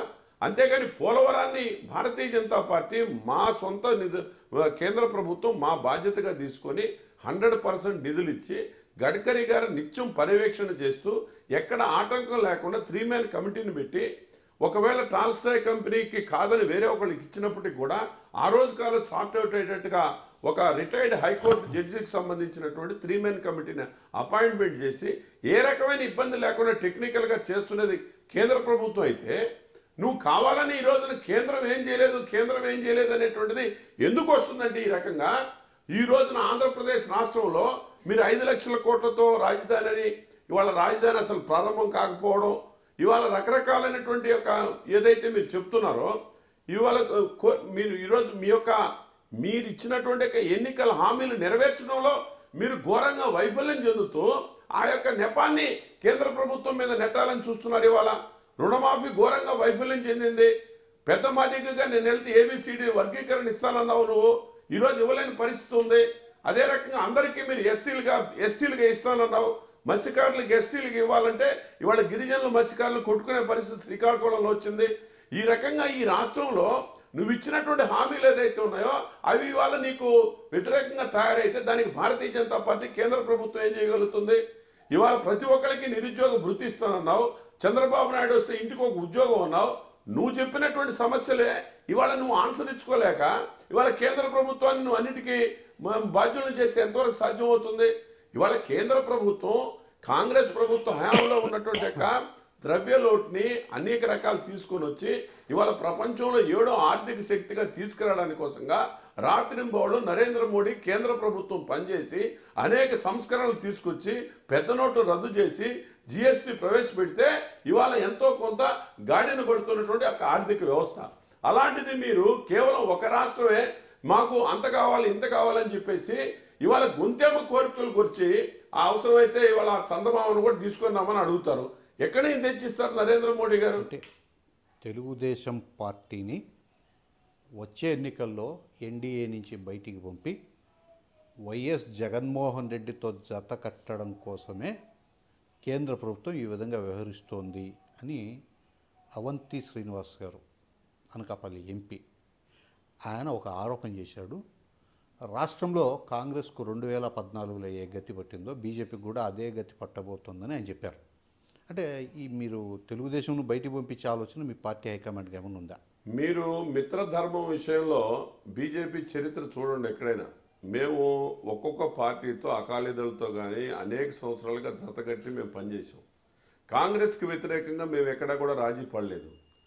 ఇవాళ మీరు ఈ అవంతి శ్రీనివాసనే క్వశ్చన్ చేయండి మీరు. మీరు ఎప్పుడెప్పుడు ఏ ఏ పార్టీలతో కలిశారు? ఏ ఏ పార్టీలతో విడిపోయారు? మీ నైజం ఎవరిది? మీ నమ్మకం ఏంటి? మేము అడగాల్సిన అవసరం లేదు ఇవాళ. ఇవాళ మీరు టీఆర్ఎస్తో కలిసి వాళ్ళని ఏం చేశారో జనానికి తెలుసు. సిపిఐ సిపిఎం ఎందుకు ఈ రాష్ట్రంలో అయింది అనేది వాళ్ళకి తెలుసు వాళ్ళ శ్రేణులకు తెలుసు. పాపం వాళ్ళు చెప్పలేకపోవచ్చు. ఇవాళ మీరు ఏ పార్టీతో చేతులు కలిపినా చివరికి మీరు కొనసాగినటువంటి పరిస్థితి లేదు. అయితే మీరు గెలిచింది మాత్రం బీజేపీతో చేతులు కలిపినప్పుడు వాజ్పేయి గారి టైంలో మోడీ గారి టైంలో తప్ప మీ రిజల్ట్ ఎక్కడ ఉంది? కాబట్టి అవంతి శ్రీనివాసు ఇవాళ చిలక పలుకులు చెప్తున్నాడు చంద్రబాబు నాయుడు చెప్పన్నాడు కాబట్టి అవంతి శ్రీనివాస్ చెప్పినటువంటిది వాస్తవం కాదు. ఎందుకంటే భారతీయ జనతా పార్టీ ఈ రాష్ట్రంలో ఒక బలమైనటువంటి ఒక రాజకీయ శక్తిగా మేము మాకు ఓట్లు ఉన్నాయంటేనే నువ్వు వచ్చి మాతో చేతులు కలిపావు. అదే రకంగా ఆ రోజు ముఖ్యమంత్రి గారు మేము అసలు భారతీయ జనతా పార్టీతో కలిసి పనిచేయడం మేము నా జీవితంలో చేసిన తప్పు అని చెప్పిన పెద్ద మనిషి యూటర్న్ తిరిగి నరేంద్ర మోడీ గారి ఇంటర్వ్యూ కోసం పాకులాడి మీరు ప్రయత్నం చేసి బీజేపీతో చేతులు కలిపి ఎన్నికల్లో రెండు వేల పద్నాలుగులో గెలిచారు. కాబట్టి మీ చరిత్ర ఏంటంటే మీరు ఎక్కడికక్కడ కుర్చీ కోసం పదవుల కోసం మీరు సిద్ధాంతాలైనా మార్చుకోగలిగిన వాళ్ళు మీరు. కానీ భారతీయ జనతా పార్టీ యొక్క ఆలోచన అది కాదు. అందుకనే నేను చెప్తున్నది ఏంటంటే భారతీయ జనతా పార్టీ మేము అభివృద్ధి చేసి అవకాశాలన్నీ ఇస్తున్నప్పటికీ కూడా నీకు వేరే ఇతరితర కారణాలు ఉన్నాయి. మూడు సంవత్సరాల క్రితమే ఈ యొక్క వ్యూహ రచన చేసావు నువ్వు. ఏ వ్యూహం సార్? ఈ ఇవాళ ఉన్నటువంటి ఏదైతే భారతీయ జనతా పార్టీతో ఈ రోజున ఈ రకమైనటువంటి దుష్ప్రచారం చేయడానికి కొన్ని ప్రచార ప్రసార మాధ్యమాల్లో మీరు ఆనాడే ప్రయత్నం చేశారు. మీకు బ్లూ ప్రింట్ ఆనాడే రెడీ అయిపోయి ఉంది. ఎక్కడైతే భారతీయ జనతా పార్టీ నరేంద్ర మోడీ గారు నాలుగు సీట్లలో ఉన్న హర్యానా గెలవడం శివసేన కంటే కూడా బీజేపీ అధికారంలోకి రావడం అస్సాంలో బీజేపీ అధికారంలోకి రావడం ఉత్తరప్రదేశ్లో బీజేపీ అధికారంలోకి రావడం ఇవాళ అనేక రకాలైనటువంటి రాష్ట్రాల్లో ఎప్పుడైతే నరేంద్ర మోడీ చరిష్మా కారణంగా బీజేపీ అధికారంలోకి వస్తుందో మీకు భయం పట్టుకుంది. ఎక్కడ బీజేపీ ఆంధ్రప్రదేశ్ ఎదుగుతుందేమో బీజేపీ పట్ల జాగరూకత ఉండి మనం ఈ రకమైనటువంటి ఒక ప్రచారం మొదలుపెట్టాలనేటువంటిది మీ బ్లూ ప్రింట్ అది అంతే తప్ప అవంతి శ్రీనివాస్ లాంటి వాళ్ళు చెప్తే రాజకీయ పాఠాలు మేము నేర్చుకోవాల్సిన అవసరం లేదు. భారతీయ జనతా పార్టీ దగ్గర కూడా మీరు చేసేటువంటి యొక్క ప్రయత్నాలు ఈ ఉద్యమాలు వెనక ఎవరున్నారు ఈ బంద్ వెనక ఎవరున్నారు అనేటువంటిది మా దగ్గర ఐబీ రిపోర్ట్ ఉంది. మీరేం చెప్పాల్సినటువంటి అవసరం లేదు. కాబట్టి భారతీయ జనతా పార్టీ మేము చెప్పినటువంటి ప్రకారంగా అసలు ఆంధ్రప్రదేశ్ యొక్క విభజన సందర్భంలో ఒక భారతీయ జనతా పార్టీ పార్లమెంట్లో కానీ బయట కానీ మేము మాట్లాడాం. కాబట్టి ఆ హక్కు మాకుంది. ఆంధ్రప్రదేశ్ యొక్క కమిట్మెంట్ అభివృద్ధి పట్ల మా కమిట్మెంట్ మాకుంది. కాబట్టి భారతీయ జనతా పార్టీ తప్పనిసరిగా ఆంధ్రప్రదేశ్కి ఇవ్వాల్సినటువంటి వాటిలో రాజీ లేకుండా మేము ఇస్తాం. అంతేగాని మీరు ఈ రోజున ఈ యొక్క డ్రా- డ్రామాలన్నింటినీ కూడా ప్రజల్లో ఏదో ఒక రకంగా భారతీయ జనతా పార్టీ పైన వ్యతిరేకత తీసుకురావాలా? నరేంద్ర మోడీ చరిష్మాని దెబ్బ కొట్టాలా అనేటువంటి ప్రయత్నం చేస్తున్నారు. ఇది వాస్తవం కాదు. అరచేతిని అడ్డుపెట్టి సూర్యకాంతిని ఆపలేరు. ఎదిగొస్తున్నటువంటి నరేంద్ర మోడీ ఖ్యాతిని ఇవాళ ఆంధ్రప్రదేశ్లో ఉన్నటువంటి ఇలాంటి దుష్టశక్తులు ఎవడు కూడా ఆపలేవు. మా యొక్క ఎదిగే క్రమాన్ని రెండు వేల పంతొమ్మిదిలో ఎలా కూడా మేము ఖచ్చితంగా మేము జగన్నాథ రథచక్రాలు ఆపలేమన్నట్టుగా ముందుకు పోవడం ఖాయం. వీటన్నిటిని కూడా పటాపంచలు చేస్తూ బీజేపీ ముందుకెళ్తుంది. వాస్తవాలు ప్రజలకు తెలుస్తాయి. నిజం అనేటువంటి సత్యం అనేటువంటిది అది ఎప్పుడు కూడా కొంత ఆలస్యమైనా ప్రజలు అర్థం చేసుకుంటారు. వైఎస్ జగన్మోహన్ రెడ్డితో ఏమైనా కలగబోతున్నారా ఆ అవకాశము? అది ప్రధాన ఆరోపణ. వాస్తవంగా తెలుగుదేశం పార్టీ తెలుగుదేశం పార్టీ అవంతి శ్రీనివాసు ఆధారం లేని ఆరోపణలు వాళ్ళు చేస్తున్నాడు. ఆధారం లేనటువంటి ఆరోపణలు చేస్తున్నారు. అయితే మేము నాలుగు చేయగలం దానికి. గుజరాత్నికి ఇక్కడిని మా ప్రభుత్వాన్ని ఓడించడానికి కోసంగా డబ్బు సంచులు పంపించిన మాట వాస్తవా ఇక్కడి నుంచి సోషల్ మీడియాను పంపించింది వాస్తవా అదే గుజరాత్లో మీ యొక్క మిత్రుడు లగడపాటి రాజగోపాల్ సర్వేను చూసి మీరు బీజేపీ ప్రభుత్వం ఓడిపోద్దని మీ పత్రికలో రాయించింది వాస్తవేనా అంటే మిత్రపక్షంగా ఉండి బీజేపీ గుజరాత్లో ఓడిపోవాలని నరేంద్ర మోడీ ఖ్యాతి కావ తగ్గాలని మీకుందా కుట్ర మాకుందా? ఆ రకమైన కుట్ర తెలుగుదేశం పార్టీ చంద్రబాబు నాయుడు గారు పత్రికల్లో కొన్ని వచ్చినాయి అనేక పత్రికల్లో వార్తలు వచ్చినాయి నేను చెప్పేది కాదు ఇది. అందువల్లే అనేక రకాల పత్రికల్లో ఈ రకమైనటువంటి వార్తలు వచ్చినాయి మేం చెప్పడం లేదు. లగడపాటి సర్వేలో సోషల్ మీడియా అంతా వచ్చింది. గుజరాత్లో బీజేపీ ఓడిపోతుందని. మీరందరూ కూడా సంతోషించి స్వీట్లు పంచుకున్నటువంటి సంఘటనలు కూడా మాకు తెలుసు. కాబట్టి అవంతి శ్రీనివాస్ లాంటి వాళ్ళు మీరు ఈరోజు బీజేపీ పైన దుష్ప్రచారం చేసి మేమేదో జగన్తో కలుస్తున్నాం అనే సంగతి పక్కన పెట్టండి. మీ అధినాయకం ఎవరితో మాట్లాడుతున్నారు ఇవాళ మమతా బెనర్జీతో ఎవరు మాట్లాడుతున్నారు లేకపోతే ఇవాళ అనేక రకాలైనటువంటి శివసేన నా ఉద్ధవ్ ఠాకరేతో ఎవరు మాట్లాడుతున్నారో ఇవన్నీ కావాల్సి ఉంటే తర్వాత చర్చించుకుందాం. ఎవరు ఎవరి వైపున పోతున్నారు అనేటువంటిది ప్రజలే న్యాయ నిర్ణేతలు. ఊరికే భారతీయ జనతా పార్టీ పైన అమిత్ షా గారి పైన నరేంద్ర మోడీ పైన మీరేదో గుడ్డగాలు చేసేసి మీ ఇష్టం వచ్చినట్టు మాట్లాడితే ఇక్కడ చూస్తే ఊరుకునేటువంటి వాళ్ళు ఎవరు లేరు. వాస్తవాలు ప్రజలకు మేము చెప్పగలుగుతాం. భారతీయ జనతా పార్టీ కార్యకర్తలకి మేము పదవుల కోసం ఈ రోజుకు ఒక డ్రామాలు ఆడేవాళ్ళం కాదండి. ఇవాళ నీతో కూడా ఉన్నటువంటి వాళ్ళు నిన్నటిదాకా మొన్నటిదాకా కాంగ్రెస్లో ప్రజారాజ్యంలో రకరకాల పార్టీలో ఉండొచ్చినటువంటి వాళ్ళు. నీకు అసలు రామారావు గారిని నమ్ముకున్నటువంటి తెలుగుదేశం పార్టీ ఎక్కడో పోయి మూలన పడిపోయి ఉంది. అసలు బీజే తెలుగుదేశం కార్యకర్తలు ఇవాళ అల్లు రామచంద్రని అలౌంటిస్తున్నారు ఇవాళ నకిలీలు కలుపు మొక్కలు ఎవరైతే ఉన్నారో వాళ్ళు ఇవాళ మంత్రి వాళ్ళుగా తయారైపోయారు. బుచ్చయ్య చౌదరి లాంటి వాళ్ళు ఆవేదనలు చాలా ఉన్నాయి. ఇవన్నీ మేము కూడా చాలా చెప్తాం అవన్నీ మీ యొక్క ఆటలు సాగవు. భారతీయ జనతా పార్టీ పైన మీరు మంచి మనసుతో మిత్రధర్మాన్ని మీరు పాటిస్తూ నిజంగా ఎక్కడైతే అభివృద్ధికి ఆటంకం కలిగిందో రండి దాన్ని మాట్లాడదాం. అంతే తప్ప మీరు లేనిపోయినటువంటి అభాండాలు వేసి మాట్లాడాలనుకుంటే కుదరదు. నిన్నగాక మొన్న వచ్చినాడు పాపం ఆయన గల్లా జయదేవ్ అనేటువంటి ఒక వ్యక్తి పాపం. ఆయన మొన్నటిదాకా వాళ్ళ తల్లిగారు వాళ్ళు కాంగ్రెస్లో ఉన్నటువంటి ఒక నాయకులు. ఈ రోజుకి ఈరోజు రోజు వచ్చినట్టు ఆయన అపర తెలుగుదేశం నాయకుడైనట్టు స్వర్గీయ ఎన్టీ రామారావు గారికి వారసుడైనట్టుగా ఈయన అక్కడ చేరి నరేంద్ర మోడీని మాట్లాడేటువంటి ఒక శక్తి ఉందా నీకు? నీ స్థాయి ఏంది? నువ్వేమనుకుంటున్నావు? నువ్వు ఒకళ్ళు ఈ రోజుకి వచ్చేసి పార్లమెంట్లో చంద్రబాబుని మెప్పించడానికి కోసం నువ్వు మాట్లాడితే మీరు నలభై వేల కోట్లు అరవై వేల కోట్ల రూపాయలు మాట్లాడుతున్నావు. ఇవాళ అరుణ్ జైట్లీ గారు చెప్పారు మన బడ్జెట్ పరిస్థితి ఏంది? కేంద్రంలో ఉన్న పరిస్థితులు ఏంది? ఇవాళ ఎంత ఇవ్వగలుగుతాం ఎంత ఇవ్వలేమని. ఇచ్చిన మూడు వేల ఐదు వందల కోట్లకు దిక్కు లేదు. ఇవాళ దగ్గరికి ఒక రాయి పెట్టలేదు. నువ్వు పార్లమెంట్లో బీజేపీ ప్రభుత్వాన్ని నరేంద్ర మోడీని విమర్శించగలిగేవాడివా? కాబట్టి గల్లా జయదేవ్ నువ్వు నీ చరిత్ర మాకు తెలియందేం కాదు. రాయపాటి సాంబశివరావు గల్లా జయదేవ్ దివాకర్ రెడ్డి ఇలాంటి కాంగ్రెస్ నాయకులందరినీ ఇవాళ ముఖ్యమంత్రి గారి దగ్గర పెట్టుకుంటేనే ఈ రకమైనటువంటి ఒక పరిస్థితులు వస్తున్నాయి ఇవాళ. ఇలాంటి నకిలీల్ని కలుపు మొక్కలు దూరంగా పెట్టమని ముఖ్యమంత్రి గారికి మేము చెప్తున్నాం. తెలుగుదేశంలో అసలైనటువంటి జాతీయవాదులు ఉన్నారు. వాళ్ళు కాంగ్రెస్కు వ్యతిరేకంగా పనిచేశారు. ఇవాళ ఉద్యమాన్ని మీరే ప్రారంభించారని ఇవాళ లోకం అంతా అనుకుంటుంది. తెలుగుదేశం ప్రభుత్వమే ఇవాళ ఈ యొక్క బంద్ ఏదైతే ఉందో ఈ బంద్కు మీరే ప్రోత్సహించారు. ఈ బంద్ పరోక్షంగా మీరే పెట్టించిందే. మాకు తెలియదు అనుకుంటున్నారు ఇవాళ. అంటే ఈ బంధు జరిగిన బంధు ఏదైతే కేంద్ర ప్రభుత్వానికి వ్యతిరేకంగా నడిచిందో ఆ బంధు తెలుగుదేశం పార్టీ ప్రోత్సహించి పెట్టించిన బందేది ఇది గతంలో అనేక సార్లు జరిగిన ఈ రాష్ట్రంలో. మీకు ఉదాహరణ నేను చెప్తాను. నంజాల్లో వైఎస్ఆర్సీపీని ఓడించడానికి కోసంగా రఘువీరారెడ్డితో ఒక చేతులు కలిపి అక్కడ ఒక మైనారిటీ అభ్యర్థిని పెట్టి ఆ రోజున వీళ్ళు టీడీపీకి మేలు చేయడానికి కోసం ప్రయత్నం చేసిన పరిస్థితులు మీరు చూశారు. గతంలో కిరణ్ కుమార్ రెడ్డి గారితో చంద్రబాబు నాయుడు గారు మిలాఖత్ అయ్యి ఆ రోజు అవిశ్వాస తీర్మానం ఎదుర్కొన్నటువంటి సంఘటనలు మీకున్నాయి. యునైటెడ్ ఫ్రంట్ ప్రభుత్వంలో కాంగ్రెస్తో కలిసినటువంటి ఒక పరిస్థితులు ఉన్నాయి. ఇవాళ వీళ్ళకి నిన్నటిదాకా కమ్యూనిస్టులతో వీళ్ళందరూ కూడా స్నేహహస్తం ఉన్నటువంటి వాళ్ళే. దొడ్డిదారిన సిపిఐ నారాయణ గారితో మాట్లాడడం పెద్ద పని కాదు. ఇవాళ బంద్ అనేటువంటిది వెనక తెలుగుదేశం ప్రభుత్వం ఆడించినటువంటి ఒక డ్రామా ఇది. కళా వెంకట్రావు గారు ఇచ్చినటువంటి వాళ్ళ యొక్క క్యాడర్కంతా కూడా బంధుకు సహకరించమని చెప్పారు. ఎట్లా చెప్తారు ఒక మిత్రపక్షంగా ఉండిను?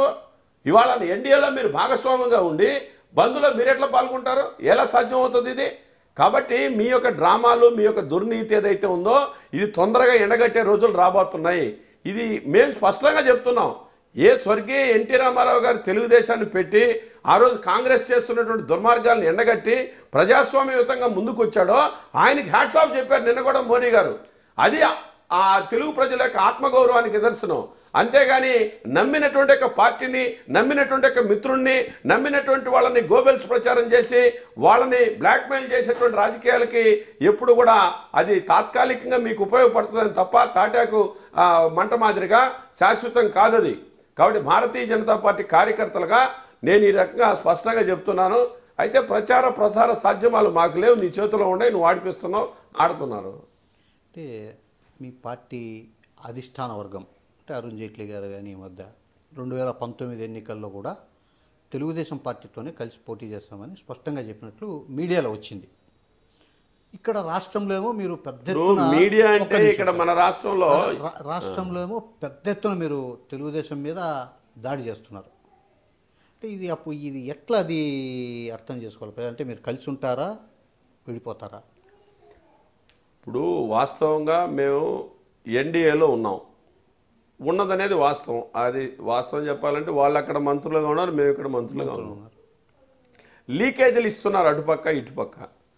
మేము భారతీయ జనతా పార్టీ ఎక్కడా చెప్పడం లేదు. ఇప్పుడు ఇవాళ వాస్తవంగా ఏంటి? మీరు ఎన్నికల పొత్తు అనేటువంటిది అది అది అధిష్టానం వరకు నిర్ణయించుకుంటుంది. మేము చేసేటువంటి ప్రక్రియ అంటే తెలుగుదేశం పైన మేము దాడి చేయట్లేదు. కేంద్ర ప్రభుత్వం చెప్తున్నటువంటి వాస్తవాలని మా యొక్క పథకాలని ఉన్నది ఉన్నట్టుగా ప్రజలకు చెప్తున్నాం. ఇవాళ రాజధానికి మీరు డబ్బులు ఇవ్వలేదని పోలవరానికి అది ఇవ్వలేదు లోటు బడ్జెట్కి ఇది ఇవ్వలేదని అంటే ఖచ్చితంగా భారతీయ జనతా పార్టీ ఇచ్చిన విషయాలు తెలియజేస్తున్నాం. అంతేకాడ కాకుండా కేంద్ర రాష్ట్ర ప్రభుత్వాల్లో ఇవాళ జరుగుతున్నటువంటి అవినీతిని మేము ఎండగడుతున్నాం. స్వచ్ఛ భారత్లో ఇవాళ జిల్లాకు ఒక వంద కోట్ల రూపాయల అవినీతి జరుగుతుంటే చూస్తూ ఉండాలనా? నీరు చెట్టు అవినీతి జరుగుతుంటే చూస్తున్నాలా నాడే పేద వర్మీ కంపోస్ట్ పెట్టి మంచి పనులు చేయమంటే ఇవాళ దాన్ని దోచుకుంటుంటే చూడాలనా? ఏ రకంగా ఎందుకని అవినీతికి ఇవాళ నరేంద్ర మోడీ గారు ఇవాళ నా ఉక్కుపాదం మోపితే భారతీయ జనతా పార్టీ కార్యకర్తలు కూడా అవినీతికి వ్యతిరేకంగా పోరాటం చేయడం ఎందు ఎక్కడ తప్పది?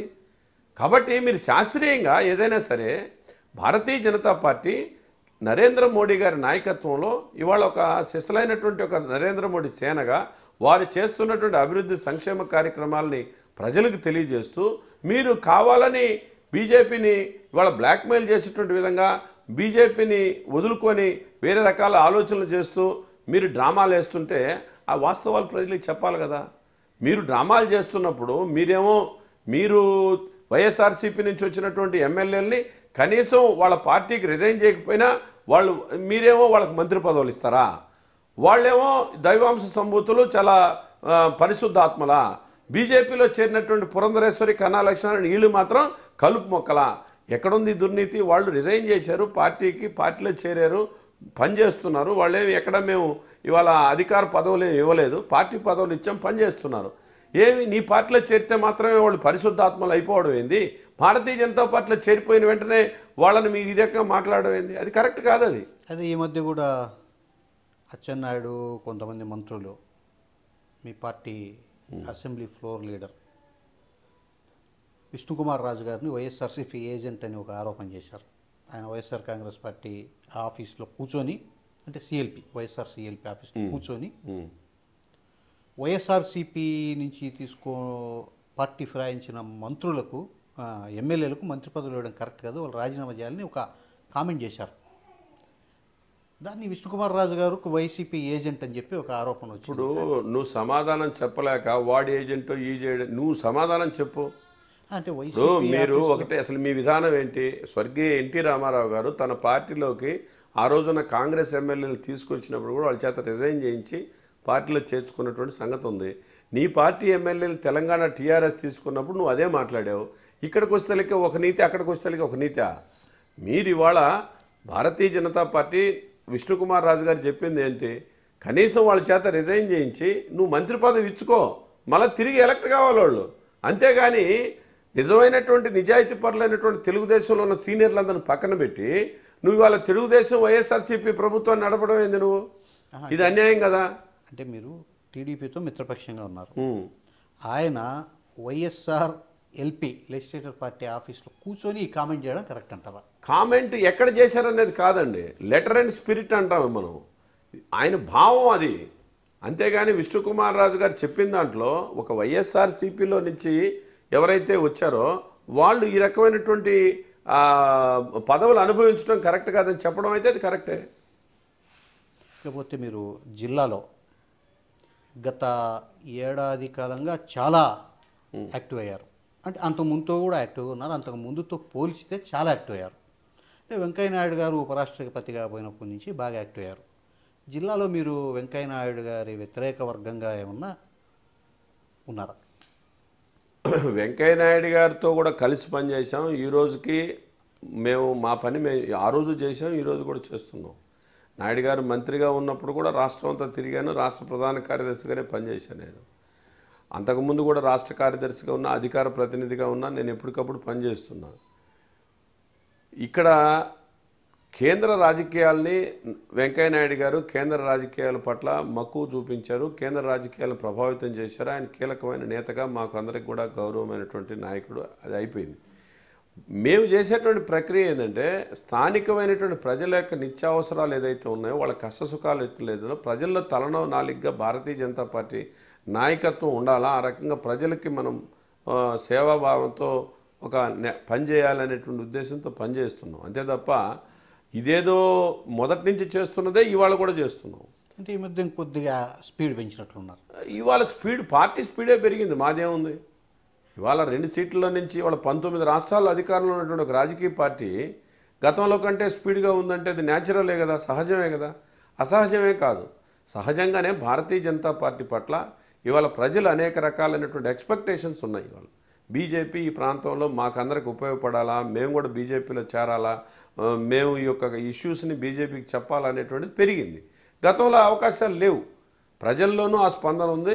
మేము కూడా దానికి అనుగుణంగా నరేంద్ర మోడీ కేంద్ర ప్రభుత్వం పంతొమ్మిది రాష్ట్రాల అధికారంలో ఇవాళ శ్రీకాకుళం దాకా బీజేపీ అధికారంలోకి వచ్చింది. ఇటు చిత్తూరు దాకా బీజేపీ అధికారంలోకి వచ్చున్నాం మధ్యలో ఉండేవాళ్ళం మేము. కాబట్టి మాకు కూడా పని చేయాలనేటువంటి ఒక ఉత్సాహం సహజంగానే ఉంటుంది పనిచేస్తుంది. అంటే ఒక ఏడాది క్రితము హరిబాబు గారిని రాష్ట్ర అధ్యక్షుడిగా తప్పించే అంటే ఆయన ఎంపీగా కూడా ఉన్నారు కాబట్టి.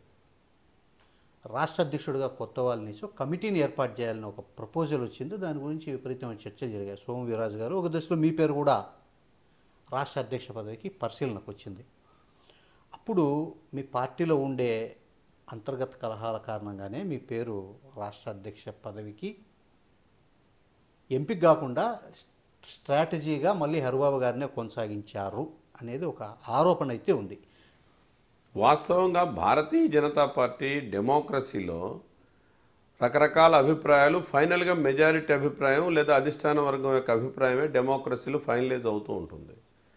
అయితే మేమెవరూ అధ్యక్షులం కావాలనేది కాదు మా కోరిక. దీంట్లో ఆంధ్రప్రదేశ్లో భారతీయ జనతా పార్టీ అధికారంలోకి రావాలనేది మా స్వప్నం. బలమైనటువంటి రాజకీయ శక్తికి ఎదగాల ప్రజలకు మార్పు తీసుకురావాలని కోరుకునేటువంటి వాళ్ళం మేము. అందువల్ల అధ్యక్ష పదవా లేకపోతే ప్రధాన కార్యదర్శి నా దృష్టిలో పనిచేసేవాడికి ఏదైనా ఒకటి. కాబట్టి మా అధ్యక్షుడి వాళ్ళ హరిబాబు గారు ఉన్నారు. హరిబాబు గారు ఉండాలన్నా హరిబాబు గారిని మార్చాలనేది కేంద్రం నిర్ణయం తీసుకుంటుంది.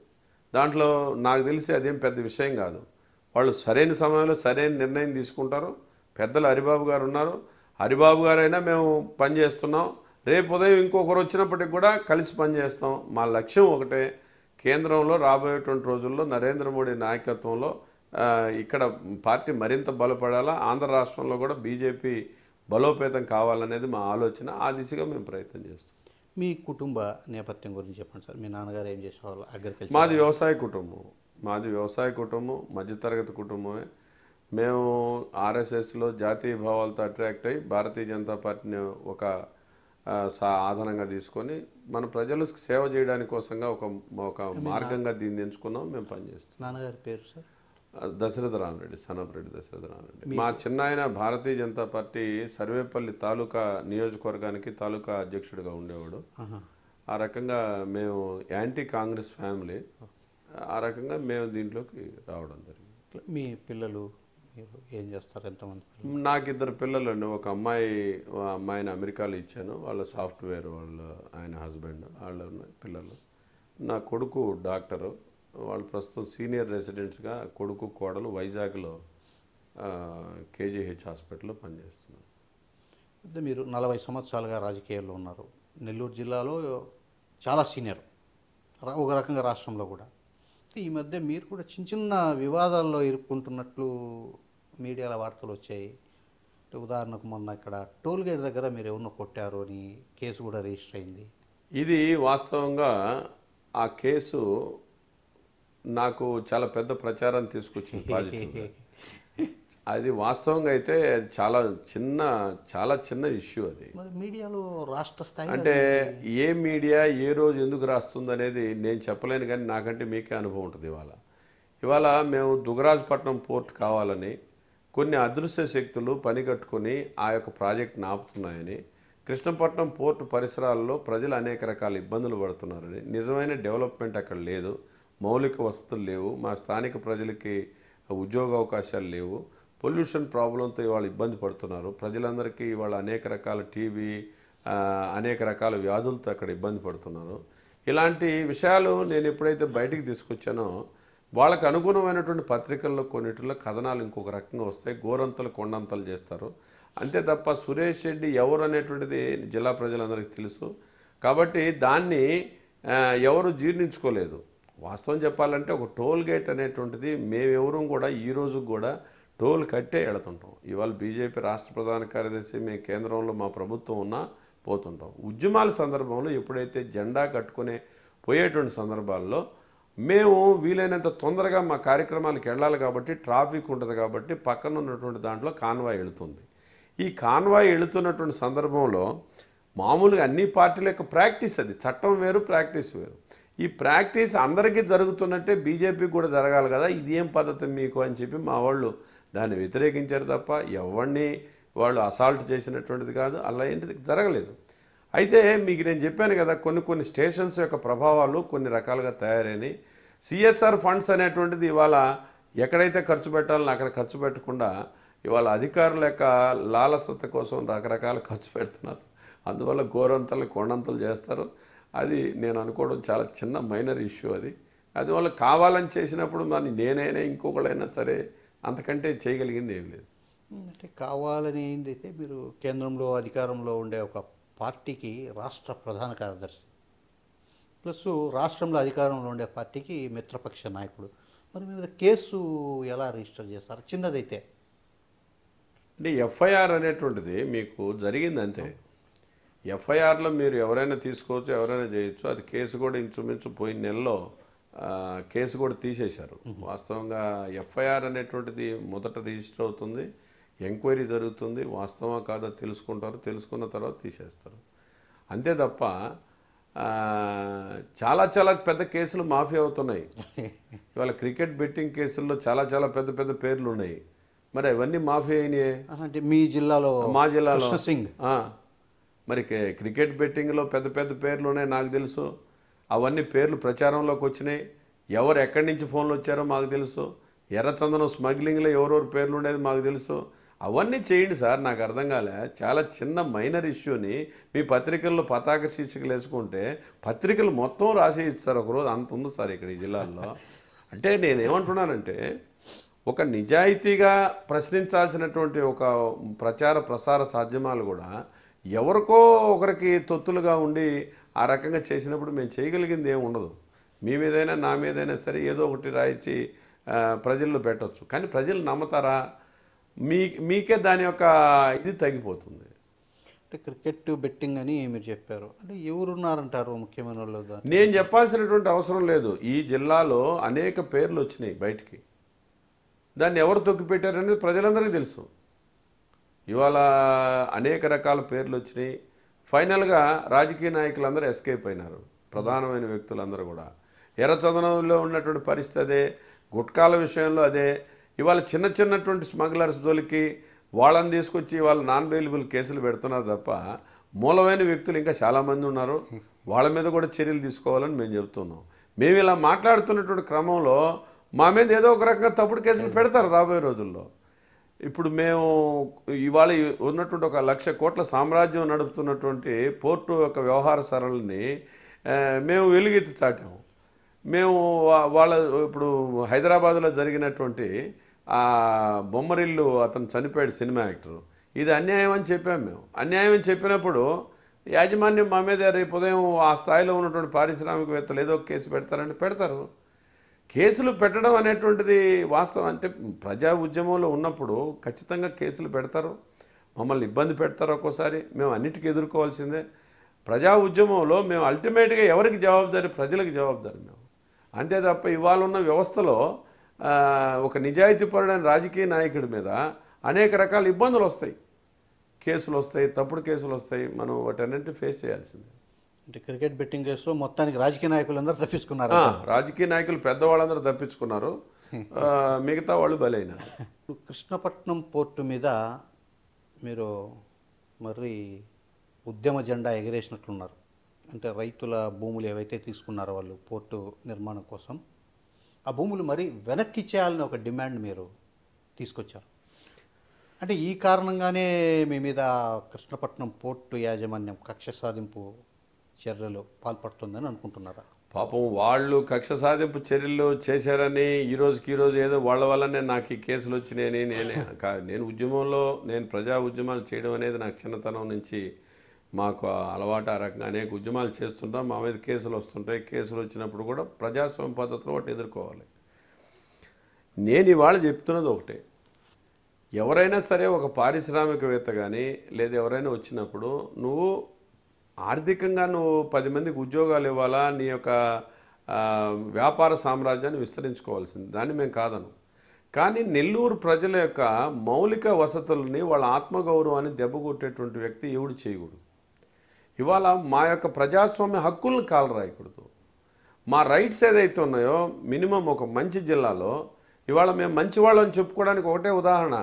ఇవాళ మా యొక్క మంచితనాన్ని ఆసరాగా చేసుకొని మా యొక్క నెల్లూరు జిల్లా ప్రజలని ఇవాళ ఉక్కు పాదంతో నొక్కు అదివేస్తున్నారు. కారణం ఏంటంటే శ్రీకాకుళం జిల్లాలో ఒక్క పవర్ ప్రాజెక్ట్ పెట్టడానికి అక్కడ వ్యతిరేకించి సోంపేటలో పెద్ద ఉద్యమం వచ్చింది.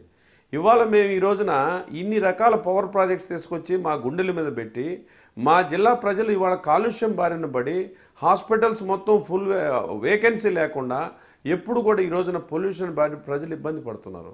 ఇవాళ కృష్ణపట్నం పోర్ట్లో మినిమం వేజెస్ లేవు. అనేక రకాల మా పిల్లలకు ఉద్యోగాలు లేవు. ఎక్కడెక్కడి నుంచో బయట వచ్చినటువంటి వాళ్ళు ఉన్నారు తప్ప భూములు కోల్పోయినటువంటి వాళ్ళు కూడా ఉద్యోగాలు చేసే పరిస్థితి లేదు. పైపెచ్చు మీరు నలభై వేల రూపాయలు కూడా మా భూములకు డబ్బు లేకుండా ఎకరాకి ఇవాళ మీరు ఒక్క ఎకరా మీద మూడు కోట్ల ఇరవై లక్షల రూపాయలు అది కూడా గవర్నమెంట్ యొక్క కౌంటర్ గ్యారంటీతో డబ్బు తెచ్చుకొని మాకు రుణపడి ఉండాల్సిన వాళ్ళు మీరైతే ఇవాళ మా మీదనే మీరు మా పోలీసుని మా కస్టమ్స్ని మొత్తాన్ని కూడా మీ చేతిలో పెట్టుకొని ఇవాళ మీరు చలాయించడం అంటే ఎంతవరకు దుర్మార్గం ఇది? ఇది ఎక్కడైనా ఉందా? ఇవాళ కాకినాడలో రెండు వందల ఎకరాలతో ఒక ప్రైవేట్ పోర్ట్ నడుస్తుంది. కాకినాడ ప్రజల్ని వాళ్ళు ఏమి హింసించడం లేదే? కాకినాడ ప్రజలపైన వాళ్ళు బాసిజం చేయటం లేదే? కాకినాడ ప్రజల యొక్క పౌరసత్వాన్ని వాళ్ళకున్న హక్కుల్ని నువ్వు కాలరాయటం లేదే. ఇవాళ కృష్ణపట్నం పోర్ట్ అది జరగట్లేదు. ఇవాళ మా ఆ చుట్టుపక్కల ప్రజల యొక్క హక్కుల్ని నువ్వు కాలరాస్తున్నావు. వాళ్ళపైన నువ్వు ఉక్కుపాదం మోపుతున్నావు. పోలీసులు పో పోలీస్ స్టేషన్ తీసుకొచ్చి నువ్వు పోర్టులో పెట్టుకొని ఒక ఎస్పీ కూడా నువ్వు ఇంటర్వ్యూ లేకుండా లోపలికి పోయే పరిస్థితి లేకపోతే ఇది ఎంతటి దుర్మార్గం ఇది? కస్టమ్స్ కానీ లేకపోతే కోస్ట్ గార్డ్ కానీ మెరైన్ కానీ బయట ఒక ఆఫీస్ ఉండాలి తప్ప పోర్టులో నీకు భజన చేయడానికి కోసమా? నీకు పాలేరులా వాళ్ళు? ఏమనుకుంటున్నావు అసలు నువ్వు? ప్రజలని నువ్వు ఉక్కుపాళ్ళతో అణిచివేయడానికి కోసంగా ఈ శక్తులన్నింటిని ఉపయోగించినప్పుడు ఇవాళ నెల్లూరు జిల్లా మంచి ప్రజలైనప్పటికీ కూడా తిరుగుబాటు చేయరా? ఏంది అన్యాయం ఇది? ఇన్ని వేల ఎకరాలు నువ్వు పద్దెనిమిది వేల ఎకరాలు నీ చుట్టుపక్కల తీసుకున్నావు. ఒక్క పరిశ్రమ ఈరోజుకి రాలే. కృష్ణపట్నం పోర్టులో జరిగేటువంటి కార్యకలాపాలన్నిటిపైన నిఘా పెట్టమని మేము అంటున్నాం. కారణం ఏంటంటే ఇవాళ జీఎస్టీ మీ దగ్గర రావట్లేదు. జీరో ట్యాక్స్తో మీరు ఇవాళ బిజినెస్ చేస్తున్నారు మీరు కాకినాడ పోర్ట్ వాళ్ళు. మీకు ఎవడిచ్చాడు ఈ హక్కు? మీ ఇష్టం వచ్చినట్టుగా ఎవడు మీ పైన దృష్టి పెట్టకుండా మీరు కమర్షియల్ ట్యాక్సెస్ ఎగ్గొట్టి మొత్తం రాష్ట్రాన్ని దేశానికి నష్టం జరుగుతున్నప్పుడు ఒక బాధ్యత కలిగిన రాజకీయ పార్టీగా మేము చెప్పాల్సిన అవసరం ఉందా లేదా? అసలు ఎందుకు పరిశ్రమలు రాలేదు? మీ వల్ల పరిశ్రమలు రాలే. మీరు ఈరోజు లక్ష రూపాయలకు కొన్న భూమిని కోటి రూపాయలు మీరు రియల్ ఎస్టేట్ బిజినెస్ పెట్టారు. అదే రీతి మాంబట్లో ఏం వస్తువులు లేవు. మాంబట్టు ఇవాళ బ్రహ్మాండంగా సెస్ డెవలప్ అయింది. శ్రీ సిటీ డెవలప్ అయింది. ఎందుకని నీ దగ్గర డెవలప్ కాలే? దీని మీద ప్రశ్న ప్రశ్న వేసుకుని ఆన్సర్ చెప్పండి మీరే. ఎందుకు డెవలప్ కాలేదంటే మీరు మీ బంధువర్గాలను మాత్రమే తీసుకొచ్చి ఒక నూట ఇరవై కంపెనీలు పెట్టేసి ఏదైనా గుండు సూదైనా సరే మీ ద్వారానే పోవాలన్నప్పుడు పారిశ్రామికవేత్తలు నీ దగ్గరికి రావడానికి భయపడుతున్నారు. అందువల్ల ఇవాళ మీరు చేస్తున్నటువంటి విధానం ఎక్కడో లోపంగా ఉంది. మీరు ప్రజల్ని హింసిస్తున్నారు అనేక వేల ఎకరాలు తీసుకున్న వాళ్ళకి ఉద్యోగాలు ఇస్తానని ఇవ్వలేదు పైపెచ్చు కనీసం మౌలిక వసతులు లేవు ఒక హాస్పిటల్ లేదు ఒక స్కూల్ లేదు లేదా వాళ్ళకు ఉన్నటువంటి హెల్త్ గ్రౌండ్స్లో ఈఎస్ఐ హాస్పిటల్ లేదు మినిమం వేజెస్ లేవు మరి అలాంటిది ఎవరైనా ఒకరు మాట్లాడాలన్నా పర్లేదా? నువ్వు ఇచ్చేటువంటి డబ్బులు కకృతి పడి వాళ్ళు అనేక మంది మాట్లాడకపోతే మాలాంటి నిజాయితీ పరులైనా మాట్లాడడం తప్పని మీరు ఎట్లా అంటారు? అలాంటి వాళ్ళైనా సరే ప్రజల సమస్యలని వెలుగులోకి తీసుకొస్తే ఇవాళకైనా సరే మీరు బాగుండాలా? మా ఉద్దేశం ఒకటే పోర్టు బాగుండాలా? కానీ మీ యొక్క ఆలోచన ధోరణి మార్చుకోవాలా? మీరు కేవలం దుగరాజపట్నంని ఇటు రామాయపట్నాన్ని అన్నిటినీ కబళించేసి మచిలీపట్నం దాకా మీరే ఉంటూ వ్యాపారాన్ని నీ చేతులు హస్తగతం చేసుకొని నిజమైనటువంటి డెవలప్మెంట్ జరగకుండా రాజకీయ నాయకులు నీ చేతిలో పెట్టుకొని ఈ పొలాలంతా ఆక్రమించుకొని నువ్వు బ్యాంకుల్లో కౌంటర్ గ్యారెంటీతో నువ్వు డబ్బులు వేల కోట్ల రూపాయలు తెచ్చుకొని ఏ రకమైన అభివృద్ధి జరగకుండా నువ్వు ఒక్కడవే బాగుపడితే సరిపోతుందా? మీరు కృష్ణపట్నం పోర్ట్ యాజమాన్యానికి కొన్ని సిఫార్సులు చేశారు. వాటిని వాళ్ళు అంగీకరించలేదు. అందువల్లే మీరు ఈ బెదిరింపు ధోరణిలోకి దిగుతున్నారనేది బయట ఒక ఆరోపణ వినపడిస్తూ ఉంది ఇవి కేవలం పారిశ్రామికవేత్తలు ఒక కావాలని ఉద్యమం జరుగుతున్నప్పుడు ఉద్యమంలో ఉన్న వాస్తవాలని నువ్వు సమాధానం చెప్పొచ్చు. మేము చెప్తున్న దాంట్లో మినిమం వేజెస్ ఉన్నాయా లేవా? ఈఎస్ఐ హాస్పిటల్ ఉందా లేదా? కృష్ణపట్నం గ్రామంలో హాస్పిటల్ పెట్టారా లేదా? మీరు ఇచ్చినటువంటి హామీలు నెరవేర్తారు లేరా ఒక పరిశ్రమ పెట్టారా లేదా? వీటికి సమాధానం మీరు చెప్పండి. ఇది అవునా కాదా? ఇది ఇది దీన్ని పక్కన పెట్టి చాలా చిన్న విషయాన్ని తీసుకొని మీరేదో సిఫారసులు చేశారు పెట్టలేదు కాబట్టి. ఏ సిఫారసులు మేము చేసేది ఏమి ఉండదు. నేను అనేక మందికి చెప్తుంటా ఎవడన్నా నా దగ్గరికి నిరుద్యోగుడు వస్తే వాడికి ఉద్యోగం చెప్తుంటాం. అంతకు మించి మాకు సిఫారసులు లేవు మేము కాంట్రాక్టర్లేం కాదు పారిశ్రామికవేత్తలేం కాదు. మేము మొదటి నుంచి ఫుల్ టైం పాలిటిక్స్లో ఉన్నటువంటి వాళ్ళం. మేము చెప్పేది ఒకటే మీరు శాస్త్రీయంగా మీరు ఉన్న విషయాన్ని చెప్పండి. మేము ఇప్పుడే కాదు గత రెండు సంవత్సరాల నుంచి చెప్తూనే ఉన్నాను నేను. ఈరోజు చెప్పేది ఏముంది? అనేక రోజుల నుంచి మేము చెప్తూనే ఉన్నాం. కాకపోతే ఇటీవల కాలంలో ప్రజలు నా దగ్గరికి వస్తున్నారు మమ్మల్ని నమ్మి. ఎందుకని? వాస్తవాలు మీరైనా చెప్పండి అన్న ఈరోజు పరిస్థితులు ఆ రకంగా ఉన్నాయి. ఒక ఎన్డి ఎన్టీవీ సర్వే జరిగిందండి. సర్వే జరిగితే స్పష్టంగా వాళ్ళు వేశారు. ఎమ్మెల్యేలు అక్కడ ఉన్నటువంటి పరిస్థితులు స్థానిక పరిస్థితుల దృష్ట్యా ఇద్దరి యొక్క ఇమేజ్ రావట్లేదు. ఎందుకంటే ఆ ఇష్యూస్ ప్రజలు బాధపడుతున్నారు ఇవాళ. కాబట్టి ఆ ఇష్యూస్ ఏదైతే ఉన్నాయో వాటిని మీరు ఆన్సర్ చేయండి. సురేష్ రెడ్డికి మీరు ఆన్సర్ చెప్పాల్సిన అవసరం లేదు. ఆఫ్టర్ ఆల్ నేనెంత అది కాదు. మీరు చెప్పాల్సింది ఏంటంటే మీరు ఏదైతే ప్రజలకు హామీ ఇచ్చారో మీరు పరిశ్రమ పెట్టేటప్పుడు అవి ఫుల్ఫిల్ చేశారా లేదా? ఎందుకు చేయలేకపోయారు మీరు? మీరు ఇన్ని వేల ఎకరాలు తీసుకున్న తర్వాత దానికి ప్రజలకు మీరు జవాబుదారా కాదా? ఇది మేము అడిగేటువంటి ప్రశ్న. అంతే తప్ప మీరు మా చేతిలో డబ్బు ఉంది కదా అని చెప్పేసి మీరు ప్రచార ప్రసార మాధ్యమాలు ఏదో ఒకటి రాయించుకోవచ్చు. రాయించుకోండి ఇబ్బంది లేదు. వాస్తవంగా మేము వ్యక్తిగా కాదు ఇక్కడ. నెల్లూరు జిల్లా ప్రజల యొక్క ఆత్మగౌరవం దెబ్బతింటుంది. ఎందుకని దెబ్బతినది? దుగరాజపట్నం అనేది ఏపీ విభజన చట్టంలో మాకు ఇచ్చినటువంటి హక్కు అయితే దుగరాజపట్నం పోర్ట్ అనేకుండా చేయడానికి నీకెవడిచ్చాడు? ఎవడ ఎవడబ్బ సొత్తది? కేంద్ర ప్రభుత్వం మాకు ఇచ్చినటువంటి ప్రాజెక్ట్ని ఇవాళ దొడ్డిదారిన నువ్వు నీతి ఆయోగ్ వాళ్ళని పట్టుకొని లేకపోతే ఇక్కడ ఉన్నటువంటి రాష్ట్ర ప్రభుత్వం చేత వెనక చేరి నువ్వు మాట్లాడి అనేక రాజకీయ పార్టీ నాయకులని నువ్వు ప్రలోభ పెట్టి ఈ రోజున నువ్వు దుగరాజపట్నం ఎందుకు రానియకుండా చేస్తున్నావు? నువ్వు ఒక లీకులు ఇస్తున్నావు ఈ రోజున. షార్ ప్రాజెక్టుకి దుగరాజపట్నం ఇబ్బంది కాబట్టి రాలేదని చెప్పేసి నువ్వే లీకులు ఇస్తున్నావు. వాస్తవం కాదు అది. ఎన్నూరు పోర్ట్ ఏదైతే ఉందో చెన్నైలో ఉండేటువంటి ఎన్నూరు పోర్ట్ ఏదైతే ఉందో దానికంటే ఇవాళ దుగరాజపట్నం దూరం. అందుకనే ఇవాళ శాస్త్రీయంగా చూసినప్పుడు మీరు కావాలని లీకులు ఇచ్చి నలభై వేల కోట్ల రూపాయల ప్రాజెక్టు గవర్నమెంట్ ద్వారా వచ్చేటువంటి ప్రాజెక్ట్ని మనకి చట్టం ద్వారా పార్లమెంటు ద్వారా ఇచ్చినటువంటి హక్కుని ఎందుకని కాలు రాస్తున్నారు ఈరోజు మీరు? ఒక రకంగా ఆంధ్రప్ర నెల్లూరు జిల్లా ప్రజల యొక్క ఆత్మగౌరవంతో మీరు ఆటలాడుకోవడం కాదా? మీ వ్యాపారం మీరు చేసుకునేటప్పుడు మీ జోలికి ఎవరు రాలేదు? మిమ్మల్ని అందరినీ కూడా గౌరవించారు మా జిల్లా అభివృద్ధి పడుతుంది మేము కూడా పట్టణాల స్థాయిలో మేము అభివృద్ధి జరుగుతుంది అనేటువంటి పద్ధతుల్లో మేము మీకు అన్ని అవకాశాలు ఇచ్చాం. ఈ జిల్లాలో సాఫ్ట్గా ప్రజలందరూ కూడా మీరు సహకరించారు. మరి మీరేం చేశారు? దుగరాజపట్నం ఆపితిరి రామాయపట్నం ఆపితిరి మొత్తం మచిలీపట్నం దాకా మీరే ఉండాలనే ఆలోచన ఏదైతే ఉందో ఈ ఆలోచనను మేము వ్యతిరేకిస్తున్నాం. అంతేకాని ఇక్కడ వ్యక్తులను మేము వ్యతిరేకించడం లేదు. ఇప్పటికైనా సరే మీ పద్ధతి మానుకొని మీ వ్యాపారం మీరు బాగా చేసుకోండి. ఎక్కడ లోటు జరుగుతుందో చూడండి. మధ్యలో వాళ్ళ మాటలు మీరు వినొద్దు. మీరు శాస్త్రీయంగా మీ యొక్క యాజమాన్యం పునరాలోచించుకోండి. ఎక్కడ జరుగుతుంది లోపం? మీరు ఇచ్చిన డబ్బులు ఏమైనా డైవర్ట్ అయిన ఎవడన్నా కొట్టేశాడా? మీలో ఉన్న మధ్యవర్తులు ఎవరైనా కోటీశ్వరులైనారా? అయినారా మేము వింటున్నది కోట్లాది కోట్ల రూపాయలు మీ పక్కన వాళ్ళు తినేశారు ప్రజలకు అందటం లేదని. ప్రజల పేరుతో డబ్బులు తినేసినప్పుడు దాన్ని మీరు సరి చేసుకోండి పోయి. మీరు ఈ రోజున ఒక ఉప్పు పరిశ్రమ ఉంది. ఉప్పు పరిశ్రమ భూములు నువ్వు తీసుకున్నావు. ఉప్పు పరిశ్రమ భూములు తీసుకోకూడదు. తీసుకున్నావు. తీసుకున్న తర్వాత స్వయంగా ముఖ్యమంత్రి చంద్రబాబు నాయుడు గారు నూట మూడు కోట్ల రూపాయల వాళ్ళకి ఇవ్వమని చెప్పాడు. నువ్వు ఇచ్చావా? ఎందుకని వేధిస్తున్నావు వాళ్ళని? ప్రజలు ఇకను బాధపడక ఏం చేస్తారు? నలభై వేలు యాభై వేలు ఆ రోజుల్లో ఎకరాకి ఇవ్వమంటే నువ్వు ఇవ్వలే. కొంతమందిని ఏడిపిస్తున్నావు మీరు. మీ యాజమాన్యానికి తెలుసా? అది లేదు మొత్తం మీద ప్రజలు ఇబ్బంది పడుతున్నారు. కాబట్టి ప్రజలు ఇబ్బంది పడుతున్నారు కాబట్టి ఒక భారతీయ జనతా పార్టీ రాష్ట్ర ప్రధాన కార్యదర్శిగా ఉన్న విషయాన్ని తప్ప లేని దాన్ని చెప్పాల్సిన అవసరం మాకు లేదు. ఇవాళ ఒక మహిళకి నువ్వు నూట ఇరవై రూపాయలు ఇస్తున్నావు. ఇరవై రూపాయల మధ్యలోనే ఖర్చు అవుతుంది. వంద రూపాయలు వాళ్ళకి వస్తూ ఉంది. వంద రూపాయలతో ఒక మహిళ ఎనిమిది గంటలు ఏ రకంగా పనిచేస్తారు? బొగ్గు గనుల దగ్గర నువ్వు బొగ్గులో పనిచేసేటువంటి కార్మికుడు ఇరవై నాలుగు గంటలు ఎట్ట పనిచేస్తాడు మినిమం వేజెస్ లేవు అక్కడ ఈఎస్ఐ హాస్పిటల్ లేదు వేల మంది కార్మికులు వచ్చినారు వాళ్ళకి మినిమం ఫెసిలిటీస్ లేవు. ఎలా వా- వాళ్ళు ఈ రకంగా ఎంతమంది నీ దగ్గర చనిపోతున్నారు రాత్రిపూట? ఎక్కడ ఉంది ఇదంతా? కాబట్టే ఇవన్నీ వాస్తవాలు.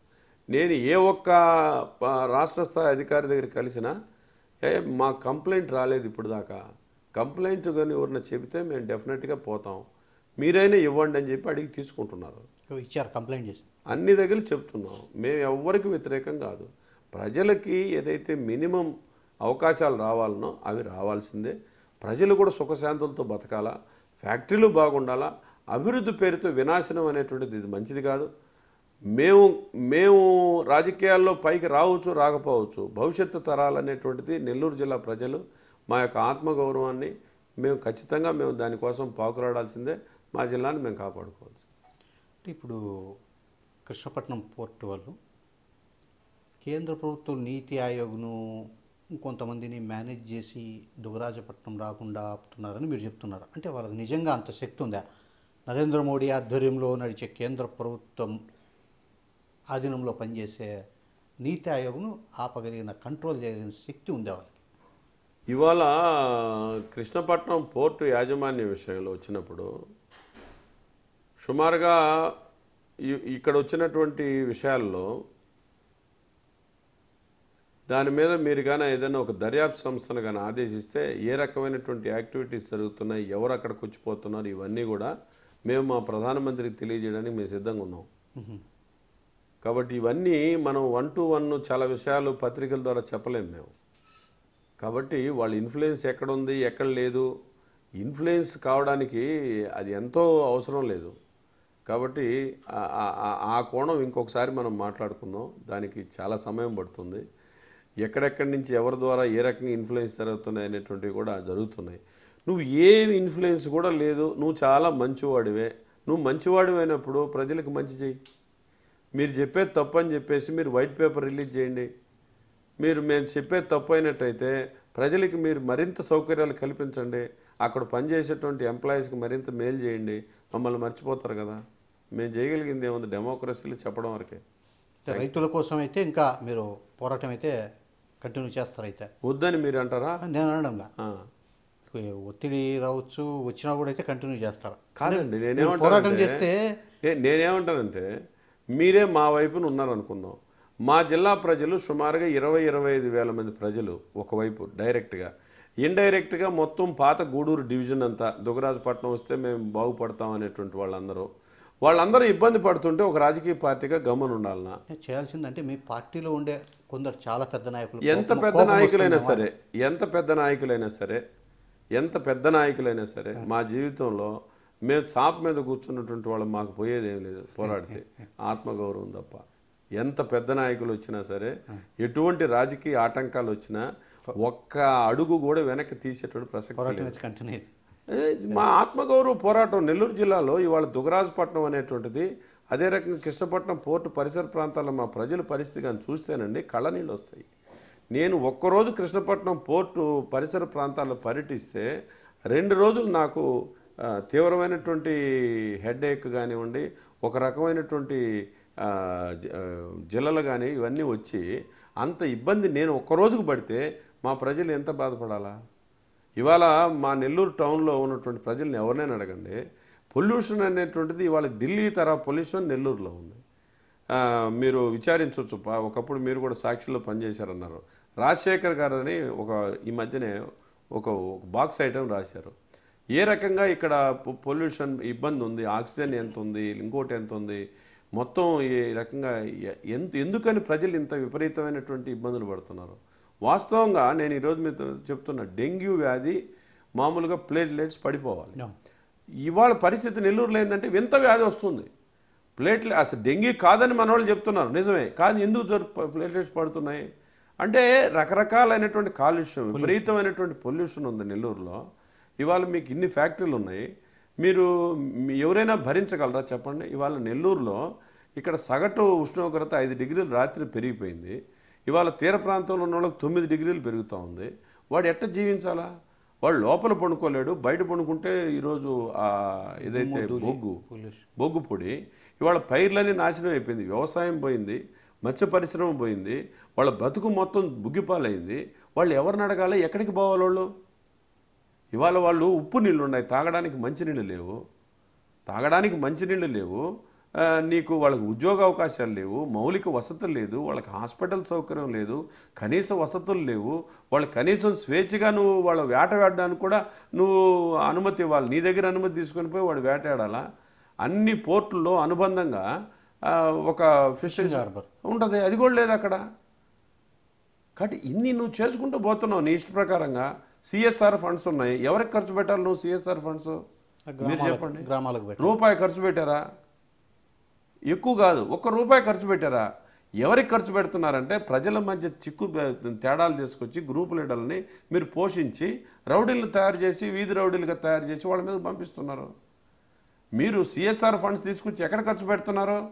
ఇక్కడ బంగ్లాలు కట్టిస్తున్నారు గెస్ట్ హౌస్లు కట్టిస్తున్నారు మాగుంట లేఅవుట్లో మీరు స్వచ్ఛ భారత్ చేస్తారా? స్వచ్ఛ భారత్ నువ్వు చేయాల్సింది అక్కడ అక్కడ చేయండి. అక్కడ ప్రజలు సస్తుంటే వాళ్ళ లంగ్స్ డిసీజ్తో లేదా క్యాన్సర్లతో టీబీ వచ్చి ఒక నివేదిక ప్రకారం సుమారుగా రెండు వేల నాలుగు వందల మంది కృష్ణపట్నం పరిసర ప్రాంతాల్లో టీబీ ఎఫెక్ట్ అయింది. ఇవాళ నువ్వు ఇరవై నాలుగు గంటలు బొగ్గుపడిలో ఎట్లా పనిచేస్తారండి మీరు విచారించండి. కనీసం ఆరు గంటల సేపు నాలుగు షిఫ్ట్ డ్యూటీలు పెట్టాల్సింది. నువ్వు ఏకబిగిన ఇరవై నాలుగు గంటలు ఆ బొగ్గులో పనిచేయాలంటే వాడి ఆరోగ్యం పరిస్థితి ఏంటండి కాబట్టి ఇన్ని రకాల బాధలు ఉన్నాయి కాబట్టి నిన్నటి దాకా నిన్ను ఎవడు అడగలేదంటే అది మా మంచితనం. నెల్లూరు జిల్లా ప్రజల యొక్క మంచితనం. కాబట్టి ఇప్పుడిప్పుడే ప్రజలు వాస్తవాలు తెలుసుకున్నారు. మనం డెవలప్మెంట్ కాదు వినాశనంలో పడ్డాం. జిల్లా మొత్తం కూడా ఇబ్బందులు పడుతున్నాం. ఇవాళ ఒకవైపు పవర్ ప్రాజెక్ట్స్ రెండో వైపున పోర్టు అనుసరిస్తున్న కారణం. రెండోది పోర్టు కూడా ఏం చేస్తుంది? ఇవాళ యాజమాన్యానికి మీ ద్వారా చెప్తున్నా. మీరు కొన్ని ప్రశ్నలు వేశారు. యాజమాన్యం కూడా ఎక్కడైనా సరే పవర్ ప్రాజెక్ట్స్లో వస్తే నీకెందుకు నువ్వు పోయి వాడితో మిలాఖత మిగతా వాళ్ళు ఎందుకు ఇబ్బంది పెడుతున్నావు? నీ పని నువ్వు చేసుకో పోర్టుతో. నువ్వు వచ్చి ఇక్కడికి వచ్చి ప్రజలను ఇబ్బంది పెడుతున్నావు ఈ వీటిల్లో చేరి. వీడు పొల్యూషన్ మెజర్స్ పాటించలేదని ఎవడన్నా ప్రజలు అడిగితే నువ్వు పోలీస్ ద్వారా కొట్టిస్తున్నావు వాళ్ళని. వేలాది మంది పోలీసుని తీసుకొచ్చి నువ్వు కరాలు నృత్యాలు చేయిస్తున్న వాళ్ళని. అదే నీకు అవసరమా? కాబట్టి ఇవాళ కృష్ణపట్నం పోర్ట్ యాజమాన్యంలో ఎందుకు ఈ రకంగా నడుస్తుంది అనేది వాళ్ళు కూడా విశ్లేషించుకోవాలా? మీరు వ్యాపారం వ్యాపారంగా చేసుకోండి. మేము మనస్ఫూర్తిగా మా జిల్లా ప్రజలు మంచోళ్ళు సహకరిస్తారు. మాదేముంది? మీరు ఏదైతే ఈ యొక్క పెత్తందారి ధోరణి లేదా భూస్వామి మనస్తత్వం జమీందారి మనస్తత్వం ఫెచ్చి డచ్ వాళ్ళు వచ్చినట్టుగా బిజినెస్ చేసుకొని వీళ్ళందరినీ మొత్తం మేము బానిసల మాదిరిగా చేయాలనే ప్రయత్నం వద్దది. మానుకోండి. తక్షణం. చివరి ప్రశ్న సార్. రెండు వేల పంతొమ్మిది ఎన్నికల్లో కూడా మీరు పోటీలో ఉండబోతున్నారా? నేను నా ఉద్దేశం ఒకటేనండి. నేను నాకున్నటువంటి ఈ అవకాశం నాకు ఇప్పుడు నేను సుమారుగా యాభై ఏడు సంవత్సరాల్లో ఉన్నా. రాజీ లేకుండా ప్రజలకు నేను సేవ చేయదలుచుకున్నాను అందుకు అనుగుణంగా పార్టీ నాకు అవకాశం ఇస్తే నేను పోటీ చేస్తా. నా పార్టీ బలపడాలా ప్రజలకు సేవ చేయాలనే తలంపు తప్ప కేవలం నాకు ఫలాందే కావాలనేటువంటిది అయితే నేను లక్ష్యంగా పెట్టుకోలేదు. కాబట్టి నాకు అలాంటి కాబట్టి నేను స్వేచ్ఛగా పనిచేసి ఇందాక మీరు ఒక ప్రశ్న వేశారు. ఎలాంటి విపత్కర పరిస్థితులను ఎదుర్కోవడానికి మానసికంగా ఆ దృఢ సంకల్పం ఉండబట్టే నేను ఈ రకంగా పనిచేయగలుగుతాను. రాష్ట్రంలో తెలుగుదేశం ప్రభుత్వం కేంద్ర ప్రభుత్వం అందిస్తున్న నిధులకు సంబంధించి సరైన లెక్కలు చెప్పడం లేదని ఆ తర్వాత కేంద్రం అమలు చేస్తున్న సంక్షేమ పథకాల్లో నరేంద్ర మోడీ గారి ఫోటో లేకుండా అవి రాష్ట్ర ప్రభుత్వ కార్యక్రమాలనే ఒక ప్రలో ఒక అభిప్రాయం ప్రజలకు కల్పించే ప్రయత్నం చేస్తుంది కాబట్టి మేము కేంద్ర ప్రభుత్వం రాష్ట్రానికి ఏమి చేస్తుందని చెప్పే ప్రయత్నంలోనే కాస్త గట్టిగా మాట్లాడుతున్నామని అలాగే కృష్ణపట్నం పోర్టు రైతులకు సంబంధించి ఇచ్చిన హామీలను కానీ వారి సమస్యల పరిష్కారానికి కానీ చొరవ తీసుకోకపోవడం వల్లే రైతుల పక్షాన మేము పోరాటం ప్రారంభించామని ఈ పోరాటంలో ఎంతటి పెద్ద ఒత్తిడి ఎదురైనా కూడా వెనక్కి తగ్గే ప్రసక్తి లేదని సురేష్ రెడ్డి గారు చెప్తున్నారు. నమస్తే ఐ డ్రీమ్ ఛానల్ సంబంధించినటువంటి కొందరు పెద్దలు నన్ను ఇంటర్వ్యూ చేయడం జరిగింది. మా కుటుంబ నేపథ్యం భారతీయ జనతా పార్టీ ఏ క్రమంలో నేను చేరింది ఆర్ఎస్ఎస్ ఏబీవీపీ నేపథ్యం ఇక్కడ ప్రజా ఉద్యమాలు అనేక రకాలైనటువంటి సమస్యలు దీంట్లో వచ్చినటువంటి ఆరోపణలు కేసులు అన్ని విషయాలు కూడా వాళ్ళు అడిగారు. నేను ఉన్నది ఉన్నట్టు కూలకషంగా చెప్పానని చెప్పి తెలియజేస్తున్నాను.